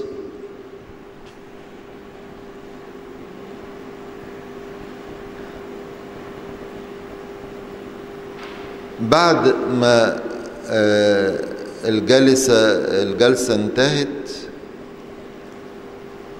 حطوا البابا ديسكورس في مكان عليه حراسة. وهم اتفقوا إن الجلسة هتعقد بعد كام يوم؟ خمس أيام. راحوا جم بعد ثلاث أيام. المجموعة بتاعت العصابة المتفقين مع بعض في غياب الأسقفة الأرثوذكس وفي غياب القضاة المدنيين التمنتاشر اللي هم أصلا منحازين. بس عندهم نوع من الضمير إلى حد ما. وراحوا يستدعوا البابا ديسكورس لحضور جلسة. تعال عشان تحضر جلسة. جه يخرج الحراس منعوه. قال لهم طب قولوا لدول يسمحوا لي أخرج. قالوا له مش مسؤوليتنا. إحنا المهمة اللي مكلفين بيها إن إحنا نستدعيك. ملناش دعوة بدول. يجي يخرج لا ما تخرجش. فما راحش. قولوا مرة تاني بعد كده. فكان البعض وصل للبابا ديسكورس قالوا له خلي بالك الأسقفة مش كلهم موجودين ولا سيما الأرثوذكس ولا القضاة المدنيين. فلما قولوا يستدعوه قال لهم أحضر في حضور مين؟ الجميع. قالوا له مش شغلك. قال خلاص ما اروحش في غياب الإيه؟ الباقيين. فدعوه المرة التانية ما راحش والتالتة ما راحش. ففي جلسة خاصة لم يعلم بها الآخرون. حكموا عليه بالحرم والعزل. والسبب لأنه دعي ثلاث مرات ولم يأتي. جم بعد خمس أيام القضاة وبقية الأعضاء. يحضروا وفوجئ القضاة إن في جلسة انعقدت واتحكم فيها بالحرم على القديس ديسقورس لدرجة إن القضاة المدنيين نفسهم قال له دم ديسقورس يطلب منكم نحن أبرياء من دمه. شوفوا رغم إن هم جايين منحازين. بعد ما خلصوا من البابا ديسقورس بدأوا بقى يقروا طومس لاون وعملوا تحديد إضافة لطومس لاون تحديد للإيمان خلوا الأساقفة يجتمعوا ويكتبوا تحديد. فاتعمل التحديد الأول كان بقيادة أناطوليوس أسقف القسطنطينية. اتعمل بصيغة أرثوذكسية. فرفض من مندوبي لاون قال ده يتعارض مع طومس لاون فعدلوه خلوه مطابق لطومس إيه؟ لاون وبعد كده بدأوا يقسموا الغنايم بقى اللي تآمروا مع بعض. طبعا أسقف القسطنطينية. هاودهم وخد يعني إيه كان ليه دور. فصدر قانون 28 إن كرسي القسطنطينية يعتبر روما الجديدة وله المكانة العظمى بين الكراسي بعد روما مباشرة.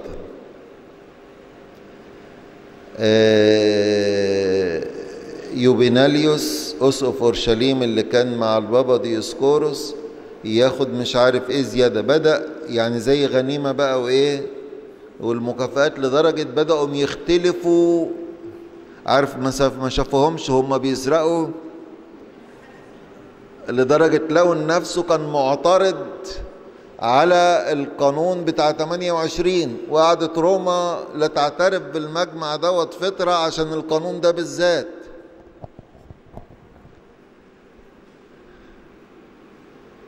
وكان أسوأ فترة زمنية في تاريخ البشرية أو في تاريخ المسيحية. مجمع شؤم. لا تقره كنيستنا. لأنه مجمع للهراطقة مين اللي كان رئيس المجمع؟ بالفعل سؤدوريتوس لأن هو لما كانوا يختلفوا على حاجة في الإيمان في التفسير كان مين اللي يقف يفسر سؤدوريتوس فمما صاغوه في الإيمان أقروا أن السيد المسيح له طبيعتين وفعلين ومشيئتين. كل طبيعة تفعل ما يخصها. طبيعة متلألئة بالمعجزات وطبيعة قابلة للإهانات. فقالوا أن أقنوم واحد في طبيعتين. وقف سؤدوريتوس يفسر. قال إحنا بنقول أقنوم واحد في طبيعتين بس بنقصد بالأقنوم البروسوبل. فأقنوم واحد في طبيعتين ومشيئتين. طب هو نصور كان بيقول إيه؟ مين فاكر؟ اللي يقول هديله مكافأة في الآخر. أنا مش هقول الفكر اللي كان بيفكر على أساسه إيه واللي عايز يقول يرفع إيده. أما شوف مين اللي رفع إيده الأول. طب قول. نعم؟ لا وعلي صوتك. نصور قال إيه؟ هم بيقولوا طبعت خلقدونيا قالوا أقنوم واحد طبيعتين ومشيئتين لكن نصور كان بيقولها بطريقة تاني.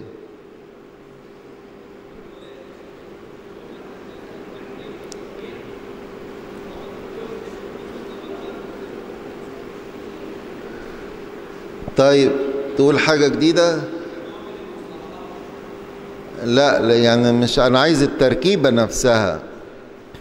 طيب هقول لأن كنتوا شكلكم كده السحنة تقول إنكم مش هتقولوا يعني. طيب اللي, اللي واثق من نفسه يقول بس اللي هيقول غلط هيبقى فيه حساب عشان ما نضيعش وقت. هيقول صح هديله مكافأة. لو قال غلط هيتخصم منه درجة. نضيعش وقت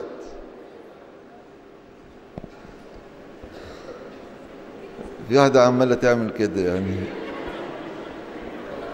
خلاص مش. مش هسمعكم هقول لكم عشان نخلص الوقت يعني. أقنو آه، نسطور كان يقول إيه؟ السيد المسيح بروسوب واحد. البروسوب اللي هو الشكل الخارجي. أو الشخصية الاعتبارية أو القانونية أو يعني بروسوب واحد وطبيعتين واقنومين بروسوب واحد وطبيعتين واقنومين مين؟ اللي بيقول كده؟ في خلق دنيا قالوا اقنوم واحد وطبيعتين وفعلين ومشيئتين ووقف سؤدوريتوس يفسر ويشرح. ما هو كان له الرئاسة بقى للمجمع. هو المرجعية بتاع المجمع. قال نقصد بالأقنوم الواحد البروسوبن يبقى بروسوبن خلينا بقى نمشي نحطهم قصاد بعض. بدل الأقنوم نحط بروسوبن طالما اللي يقصده البروسوبن مش كده؟ يبقى نسطور قال إيه بروسوبن خلق دنيا قالوا بروسوبن نصور قال طبعتين خلق دنيا قالوا إيه؟ نصور قال أقنومين خلق دنيا قالوا فعلين ومشيئتين. وهنا السؤال بقى الفعل والمشيئة. من الصفات الطبيعية ولا الأقنومية؟ الأقنومية صح. يعني ممكن أشيلهم طالما هم مثنى فعلين ومشيئتين يبقى أقول إيه؟ أقنومين يبقى أرجع تاني للمعادلة. نسطور قال بروسوبن خلقدونية قالوا أقنوم مقصود بيه البروسوبن يبقى هو بروسوبن نسطور قال طبيعتين؟ خلق دنيا قالوا طبعتين. نصور قال أقنومين؟ خلق دنيا قالوا فعلين ومشيئتين اللي هم الإيه؟ يعني نفس الفكر ونفس الإيمان ولكن في صياغة فيها تلاعب. مين اللي قاد مجمع خلقدونية؟ ثيؤدوريتوس المحروم. هيبا المحروم. يوسابيوس المحروم. لاون من خلال مندوبيه المحروم أيضا من البابا ديسقورس. فهو مجمع الهراطقة فلا نعتبر مجمعا شرعيا. ليس له صفة شرعية أو قانونية. ولكن اعتمد على المؤامرات وانحراف الإيمان وعدم الشرعية لأنه اللي حكم فيه أصلاً محرومين. فهو شكلا وموضوعا. غير مقبول. وكان مصدر شؤم وانقسام للكنيسة. كنيسة لما كانت يبقى في مشكلة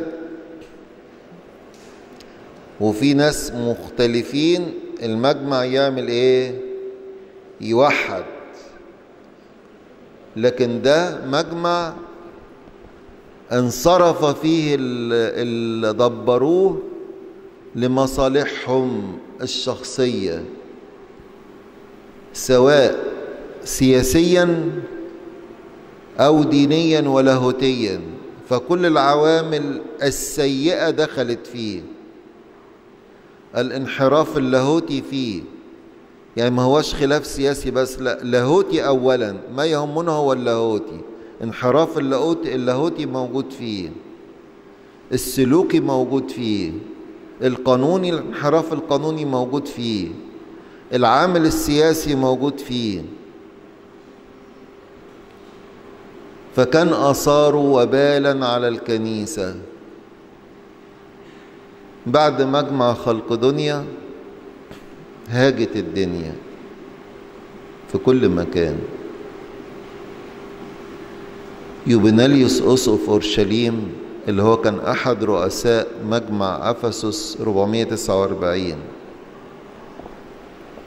لما كان رايح يحضر في خلق دنيا جمع الناس اللي هناك الإكليرس وقال لهم لو خالفت الإيمان ما تقبلونيش تاني. لو خالفت الإيمان إيه؟ ما تقبلونيش. فوصل الخبر لأورش أورشليم إن يوبناليوس تنازل عن الإيه؟ الإيمان الأرثوذكسي. وبالفعل لما جه يرجع ما قبلهوش. واضطر بقى في عنف وناس كتير ماتوا في أورشليم بسبب كده. أديرة المشرق والقسطنطينية فيها اضطرابات. في مصر طبعا حصل مذابح. أول لما المصريين عرفوا اللي جرى للبابا طبعا هاجوا وماجوا و يعني السلطة الزمنية استخدموا العنف الشديد مع المؤمنين في مصر. وعينوا واحد دخيل اسمه بروتيريوس صدر قرار بنفي البابا ديسكوروس راح كذا مكان المهم راح في الآخر لجزيرة غنغرة أو غاغرا يعني. كان يرافقه اتنين من تلاميذه وكان معاه الأنبا مكاريوس أسقف إتكو وكان رجل قديس. كان بسيط في شكله وملبسه. ما كانش يعرف يوناني لدرجة لما ركبوا السفينة وجايين ما كانوش ما كانوش عايزين يقبلوه. البابا ديسكوروس صمم إنه يجي. فلما اتحكم على البابا ديسكوروس قال له مش هسيبك. أنا هاجي معاك أعيش معاك في المنفى فلما راحوا الجزيرة البابا ديسكورس قال له لا ارجع. ارجع مصر لأن ليك إكليل ينتظرك هناك. كان في ذلك الوقت شعب مصر ومدينة الإسكندرية بصفة خاصة مدينة عالمية. يملكوا أساطيل بحرية في حوض البحر الأبيض المتوسط. كان شعب غني جداً.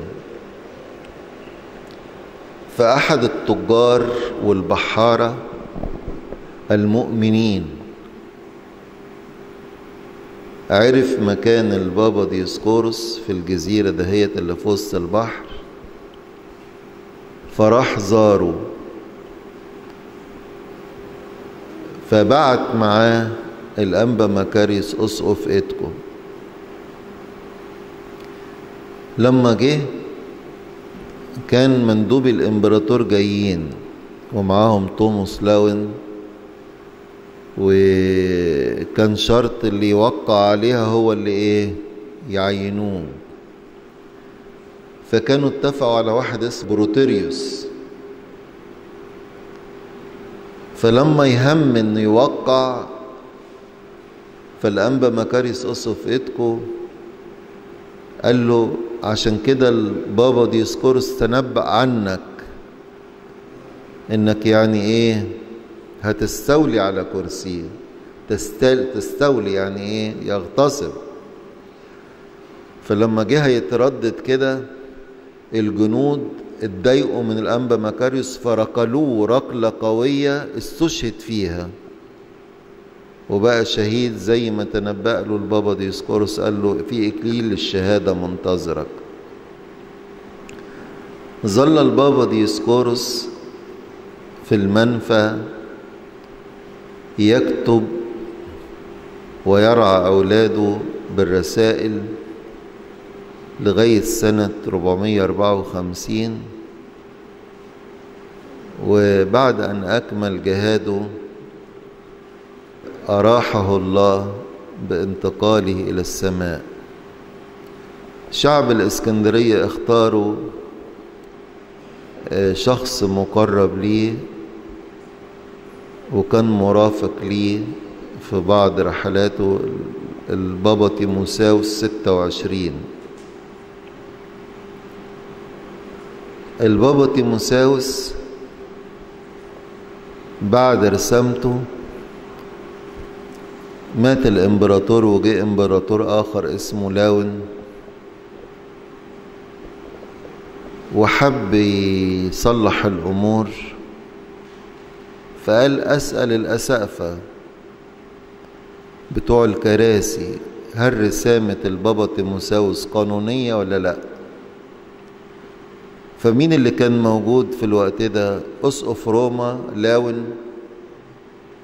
اسقف القسطنطينية أناطوليوس اللي هو وقع على توموس لاون واسقف أورشليم اللي هو يوبيناليوس فكلهم يعني مصالحهم مش متفقة معاه.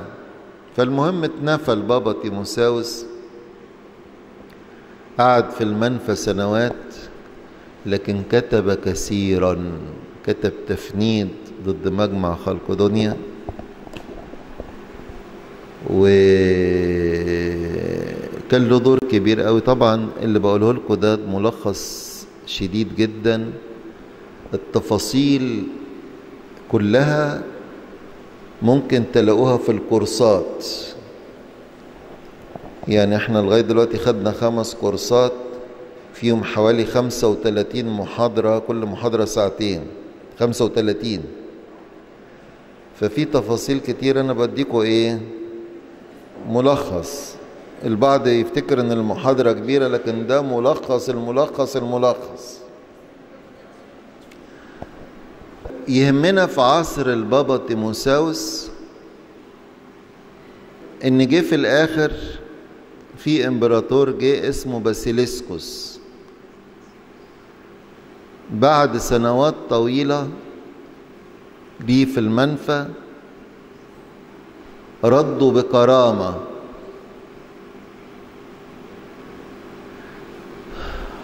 وبعدين استقبلوا في القصر الإمبراطوري.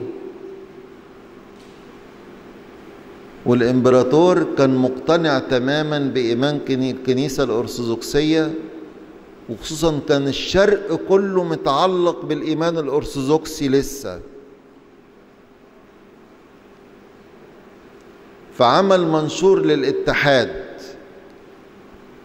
وعمل مجمع. المنشور ده اتكتب فيه حرم لمجمع خلقدونيا وتوموس لاون والإقرار بالبنود ال 12 للبابا كيرلس والإقرار بمجمع أفسس 449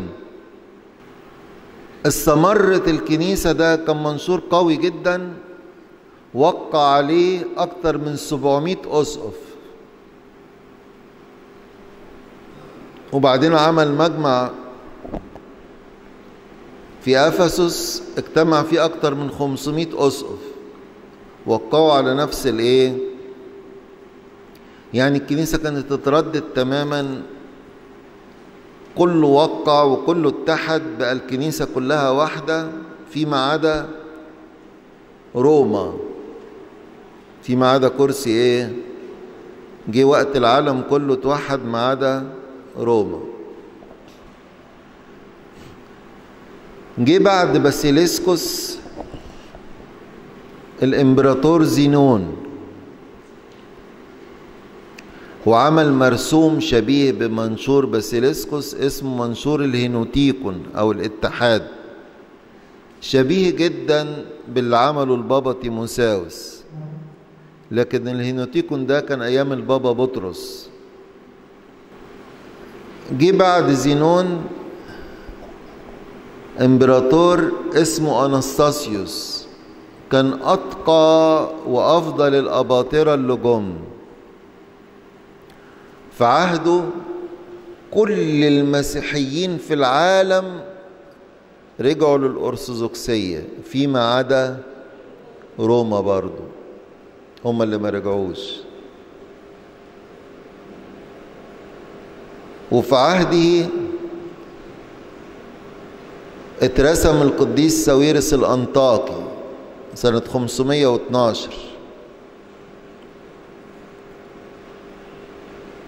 فضل عايش على يعني القديس ساويرس في الفترة اللي جه فيها أنستاسيوس دوت لغاية سنة 518 ورحل الإمبراطور أنستاسيوس. جه بعده عيلة أخرى يوستين وابن أخوه أو ابن أخته يوستنيانوس ودول بقى كانوا لهم أطماع سياسية ومصالح مع روما أطماع سياسية ومصالح مع إيه؟ مع روما فعايزين يوحدوا الكل بطريقة الكل يقبلها. فيوستنيانوس أدرك إن الشرق هنا مش هيتنازلوا عن تعليم البابا كيرلس. وإن الغرب مش هيتنازلوا عن مجمع خلقدونيا وتوموس لاون.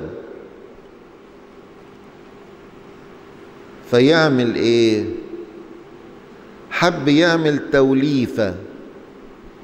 خلي بالكم الحاجات اللي بقولها لكم ديت خلاصة ملخص لكن لها شرح كبير قوي في تفاصيل. بس لو فهمتوها هيبقى فاهمين الدنيا كلها ماشية إزاي يعني.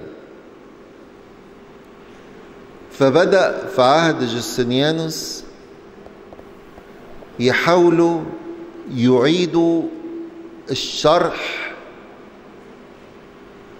التعريفات المصطلحات والألفاظ اللي بيها يوفقوا كتابات البابا كيرلس مع خلقدونيا يعني يفسروا كتابات البابا كيرلس مع إيه؟ خلقدونيا أول حاجة إن رجعوا للإدعاء الخاص بمصالحة 433 دي بتاعت القديس كيرلس. ده هو قال كده. فلما يقولوا قال كده فالناس آه ده قال كده يبقى خلاص هو كده. وبدأوا يجيبوا المصطلحات ويعيدوا تعريفها. إيه معنى الطبيعة؟ إيه معنى الأقنوم؟ إيه معنى البروسوبون؟ مش كده وبس. إيه المقصود بالاتحاد الطبيعي؟ إيه المقصود بالاتحاد الأقنومي؟ كل التعبيرات اللي قالها البابا كيرلس وشرحها يجيبوها كده لفظا هي هي بس تبدأ تتشرح بطريقة تتوافق مع خلقدونيا حتى التعبير الشهير للبابا كيرلس اللي هي μία φύσις του Θεού Λόγου σεσαρκωμένη أو μία φύσις του Θεού Λόγου σεσαρκωμένου يعني طبيعة واحدة لله الكلمة متجسدة أو طبيعة واحدة لله الكلمة المتجسد. يفسروها إزاي؟ طب أهو كده هم بيقولوها برضو دلوقتي على فكرة الخلق دونين يقولوا طبيعة واحدة لله الكلمة متجسدة بحيث اللي يسمعهم الله طب ما إحنا زي بعض أهو. لكن يجوا في التفسير يحولوها لطبيعتين. إزاي؟ يشرحوها بطريقتين. أول حاجة يقولوا إن القديس كورولوس استخدم الطبيعة والأقنوم كمترادفات. ممكن يقصد بالطبيعة الأقنوم أو الأقنوم الإيه؟ الطبيعة. فلما يقول طبيعة واحدة لله الكلمة المتجسدة فإحنا بنقول كده طبيعة واحدة لله الكلمة المتجسدة يعني أقنوم واحد. وإحنا بنقول إن السيد المسيح أقنوم في طبيعتين. فاحنا بنقول بأقنوم واحد برضه بس الأقنوم عندهم بيقصدوا بيه الإيه؟ البروسوم. يفسروها بطريقة تاني. إيه هي؟ قالوا هو مش بيقول مية فيس استوسيئو لغو يعني طبيعة واحدة لله الكلمة. أدي هي دي الطبيعة اللاهوتية. متجسدة تشير للطبيعة الناسوتية. يبقى طبيعة واحدة لله الكلمة متجسدة. يبقى كده البابا كرولوس قال إيه؟ شوفوا التفسيرات تيجي إزاي. طب الاتحاد الطبيعي والاتحاد الأقنومي. الاتحاد الطبيعي يعني هنقول طبيعة من طبيعتين. اتحاد أقنومي نقول أقنوم من أقنومين. طب هم يفسروهم إزاي؟ يدمجوهم مع بعض. الاتحاد الطبيعي والاتحاد الأقنومي حاجة واحدة. يعني أقنوم الكلمة اتحد بالطبيعة البشرية وأصبح أقنوم في طبيعتين. فكل الحاجات دهيت نشأت في عصر بصفة خاصة جوستنيانوس مين اللي تصدى ليها بقى؟ ما كانش بقى البابا ديسكوروس موجود ولا البابا تيموثاوس. مين اللي تصدى للتحوير والتأويل بتاع المصطلحات والتعبيرات دهيت القديس ساويرس الأنطاكي. في واحد اسمه يوحنا النحوي عمل كتاب كده يلعب فيه بالحاجات ديت. رد عليه القديس ساويرس في مجلد من ثلاث أجزاء كبار كده. Contra John Grammaticum جاب الكتابات والتعريفات كلها وفندها. في واحد تاني جابوا آه بعض أقوال القديس كيرلس ويفسروها بتفسير مختلف. فراح القديس ساويرس كتب كتاب اسمه فيلاليثيس يعني محب الحقيقة. حوالي 244 قول على ما أتذكر مقتبسينها من البابا كورولوس القديس ساويرس حدد التفسير وأثبت التزوير اللي هم تلاعبوا فيه في حاجات ال ال البابا كيرلس. وبدأوا من ساعتها يخترعوا حاجات جديدة. أنتوا لما بتسمعوا دلوقتي بتوع نيو باتريستيك والحاجات دهيت اللي بيعملوا حاجات جديدة الحاجات دي مش جديدة. ده ليها أصول قديمة. بس اللي بيدرسها حديثا يتهيألوا إن الحاجات دي إيه؟ جديدة. لكن اللي مش عارفين إن هي بدأت الابتكار. حاجة اللي سموها التأقنم نظرية التأقنم. الحاجات دي هتلاقوها في الكورسات. مش هقولها لكم دلوقتي لو قلتها لكم مش هتفهموها ومش هتستوعبوا لأن ما تقدروش تاخدوا كل حاجة في محاضرة واحدة. ابتكروا نظريات. فالحكاية ما بقتش الطبيعة والطبيعتين وبس لا. طبيعة والطبيعتين والاتحاد طبيعي اتحاد أقنومي معاني المصطلحات وأمور أخرى كثيرة. عشان كده القديس ساويرس أصبح له مكانة كبيرة قوي في كنيستنا.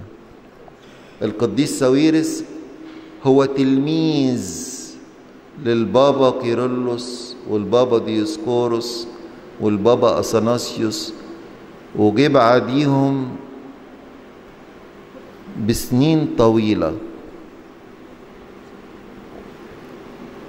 ورغم كل هذا لما بنيجي نذكره في القداس بنحطه بعد ماري مرقس مباشرة سواء في تحليل الخدام سواء في المجمع القداس.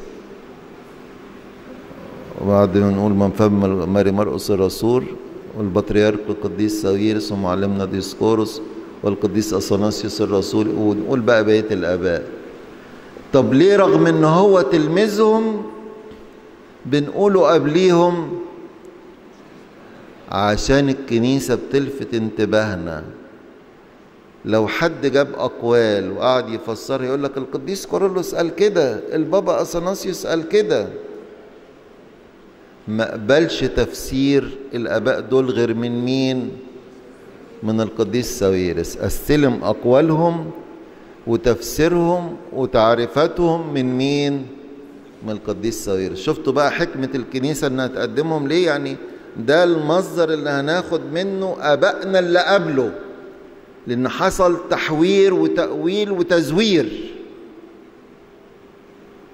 وكل كلمة أعنيها تحوير وتأويل وتزوير. آه في حاجة نسيت أقولها لكم. في سؤال فكرني. عشان كده قلت لكم الأسئلة مهمة. في سؤال بيقول من قائل لو قطعت يدي وسال دمي على القرطاس ما وقعت؟ أنا أشوفه في حاجات فعلا سقطت مني. وأنا بقول لكم في حاجات بتقع مني. البابا ديسكوروس لما دخل المجمع وبص حواليه لقى حتى اللي كانوا معاه خافوا وتراجعوا وبقى مضطر هو يقف ويواجه لوحده. فقال تعبير قال إني مضطر أن أكون جسورا لأن الأمر يتعلق بخلاص نفسي. قال إني مضطر أن أكون جسورا لأن الأمر يتعلق بخلاص إيه؟ نفسي. لما عرضوا عليه وقع عرضوا عليه مرتين. مرة قبل المجمع ومرة بعد ما اتحكم عليه ادوله فرصة أخيرة. راحوا قالوا له أدي قرارات المجمع أهي وتوماس لون أهو. لو وقعت يعني يبقى ما فيش إيه حاجة. فهو خد اللي في الآخر ديت وقع بالحرم. خلي بالكم بقى من اللي ده. راح كتب حرم على كل من يؤمن بتحديدات خلق دنيا. عشان كده خلق دنيا دي عليها حرمات. وقع بالحرم على كل من يؤمن بمجمع خلق دنيا. ولما عرضوا عليه قبل كده ويجوز المرة دي برضه قال القول ده قال ولو قطعت يدي وسال الدم منها على القرطاس ما وقعت. القرطاس يعني الورق يعني. ولو قطعت يدي وسال الدم منها على القرطاس ما وقعت. فكويس إن أسئلة كويسة بتفكرني وبتكمل يعني يبقى كده خدتوها برضو ديت. السنة دي في حاجات قلتها لكم ما قلتهاش قبل كده. ويجوز في حاجات قلتها قبل كده ما قلتهاش السنة دي. أنا بقول برتجل فمش بقول بالمسطره أنتوا ملتزمين بالامتحان في اللي أنا بقوله إيه؟ في السنة دي والسنين اللي فاتت. لأن ممكن تسمعوا كله. ممكن تسمعوا إيه؟ كله. بس السنة دي لازم تسمعوا وتذاكروا اللي قلته هيجي منه طبعا في الامتحان. وأكيد في بعضكم شاطر قبل ما بيجي بيقرا أو بيذاكر يسمع اللي قبل كده فأنتوا طالما قدامكم الفرصة إنكم تسمعوا اللي اتقال قبل كده والنهاردة هيبقى مطالبين بأكتر. اللي قبليكوا بيطالبوا بالمتاح ليهم. أنتوا أتاح لكم أكتر وبالتالي هتتسألوا إيه؟ أكتر عشان تبقوا عارفين بس يعني. نعم؟ ماشي. عموما هنكتفي بكده عشان ما نطولش عليكم. وإذا كان في أي أسئلة بعتوها. لماذا حدثت كل هذه الانقسامات رغم أن تسليم الآباء الرسل واحد؟ بسبب الحرية. ربنا ادانا الإيه؟ الحرية. ففي ناس الأتقياء بيلتزموا بالتعليم والتسليم وفي ناس بيبقوا يعني إيه ما فيش تقوى فما بيلتزموش. اخطيت حلم يا سيدنا في المحاضرة السابقة يفتك شرحت لنا السيد له المسيح له طبيعة واحدة من طبيعتين وثلاث أقانيم. لا أنا ما قلتش كده. أنا قلت السيد المسيح له طبيعة وطبيعتين وثلاث أقانيم. لا السيد المسيح له طبيعة واحدة من طبيعتين وأقلوم واحد من أقلومين. لكن الثالوث القدوس الله له طبيعة واحدة وثلاث أقانيم. ماذا فعلت بوليخاريا ليعاقبها أخيها الإمبراطور؟ مش هقول لكم يعني تغيبين سيرة الناس ليه؟ حتى اللي انتقلوا ما نحبش نجيب سيرتهم. يكفي ان قلنا إن يعني حاجة مش كويسة وخلاص. ربنا قال إن كان أحد لا يولد من الماء والروح لا يقدر أن يدخل ملكوت الله. معنى كده معنى كده إن ربنا قاله هو اللي هيتم. إحنا مالنا بقى؟ هل هذا الانشقاق ما زال قائم؟ صاحب هذا السؤال أشك إنه هينجح السنة دي. طب عايز اسالكم سؤال. الموضوع اللي قلناه النهارده صعب ولا سهل؟ لا بغض النظر عن الأسماء. سهل ولا صعب؟ فهمتوه؟ اللي يقول سهل يرفع إيده. اللي يقول صعب يرفع إيده.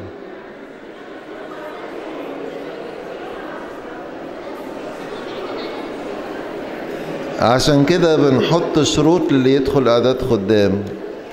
لماذا التجديف على الروح القدس لا يغفر مع إنه الذي يخرج من المسيحية ويعود تغفر له؟ ما هو لو خرج وعاد يبقى ما استمرش في التجديف يبقى ما جدفش يعني. لكن التجديف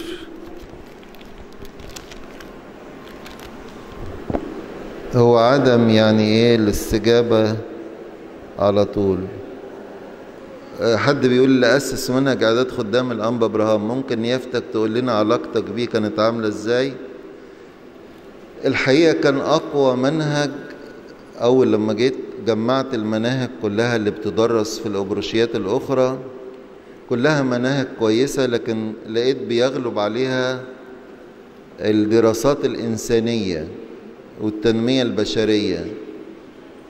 لكن العلوم اللاهوتية والكتابية مش قوية. فاهتميت إن نقوي دوت استأذنت سيدنا الأنبا إبراهام إن نعيد طبع الكتاب بتاعه. فطلب مني قال لي إن هو محتاج مراجعة وتنقيح علشان بقاله كتير. فطلب مني إن أبدي اقتراحات. قال لي ممكن تدر... يعني يدرس عندكم بس بشرط تدرسه بنفسك. قال لي بشرط تدرسه إيه؟ بنفسك عشان إذا كان في حاجات نحب نزودها نقلل أو كده يعني. إيه علاقتك بيه كانت عاملة إزاي؟ لا دي في مرة تاني ممكن نقول لكم عشان الوقت.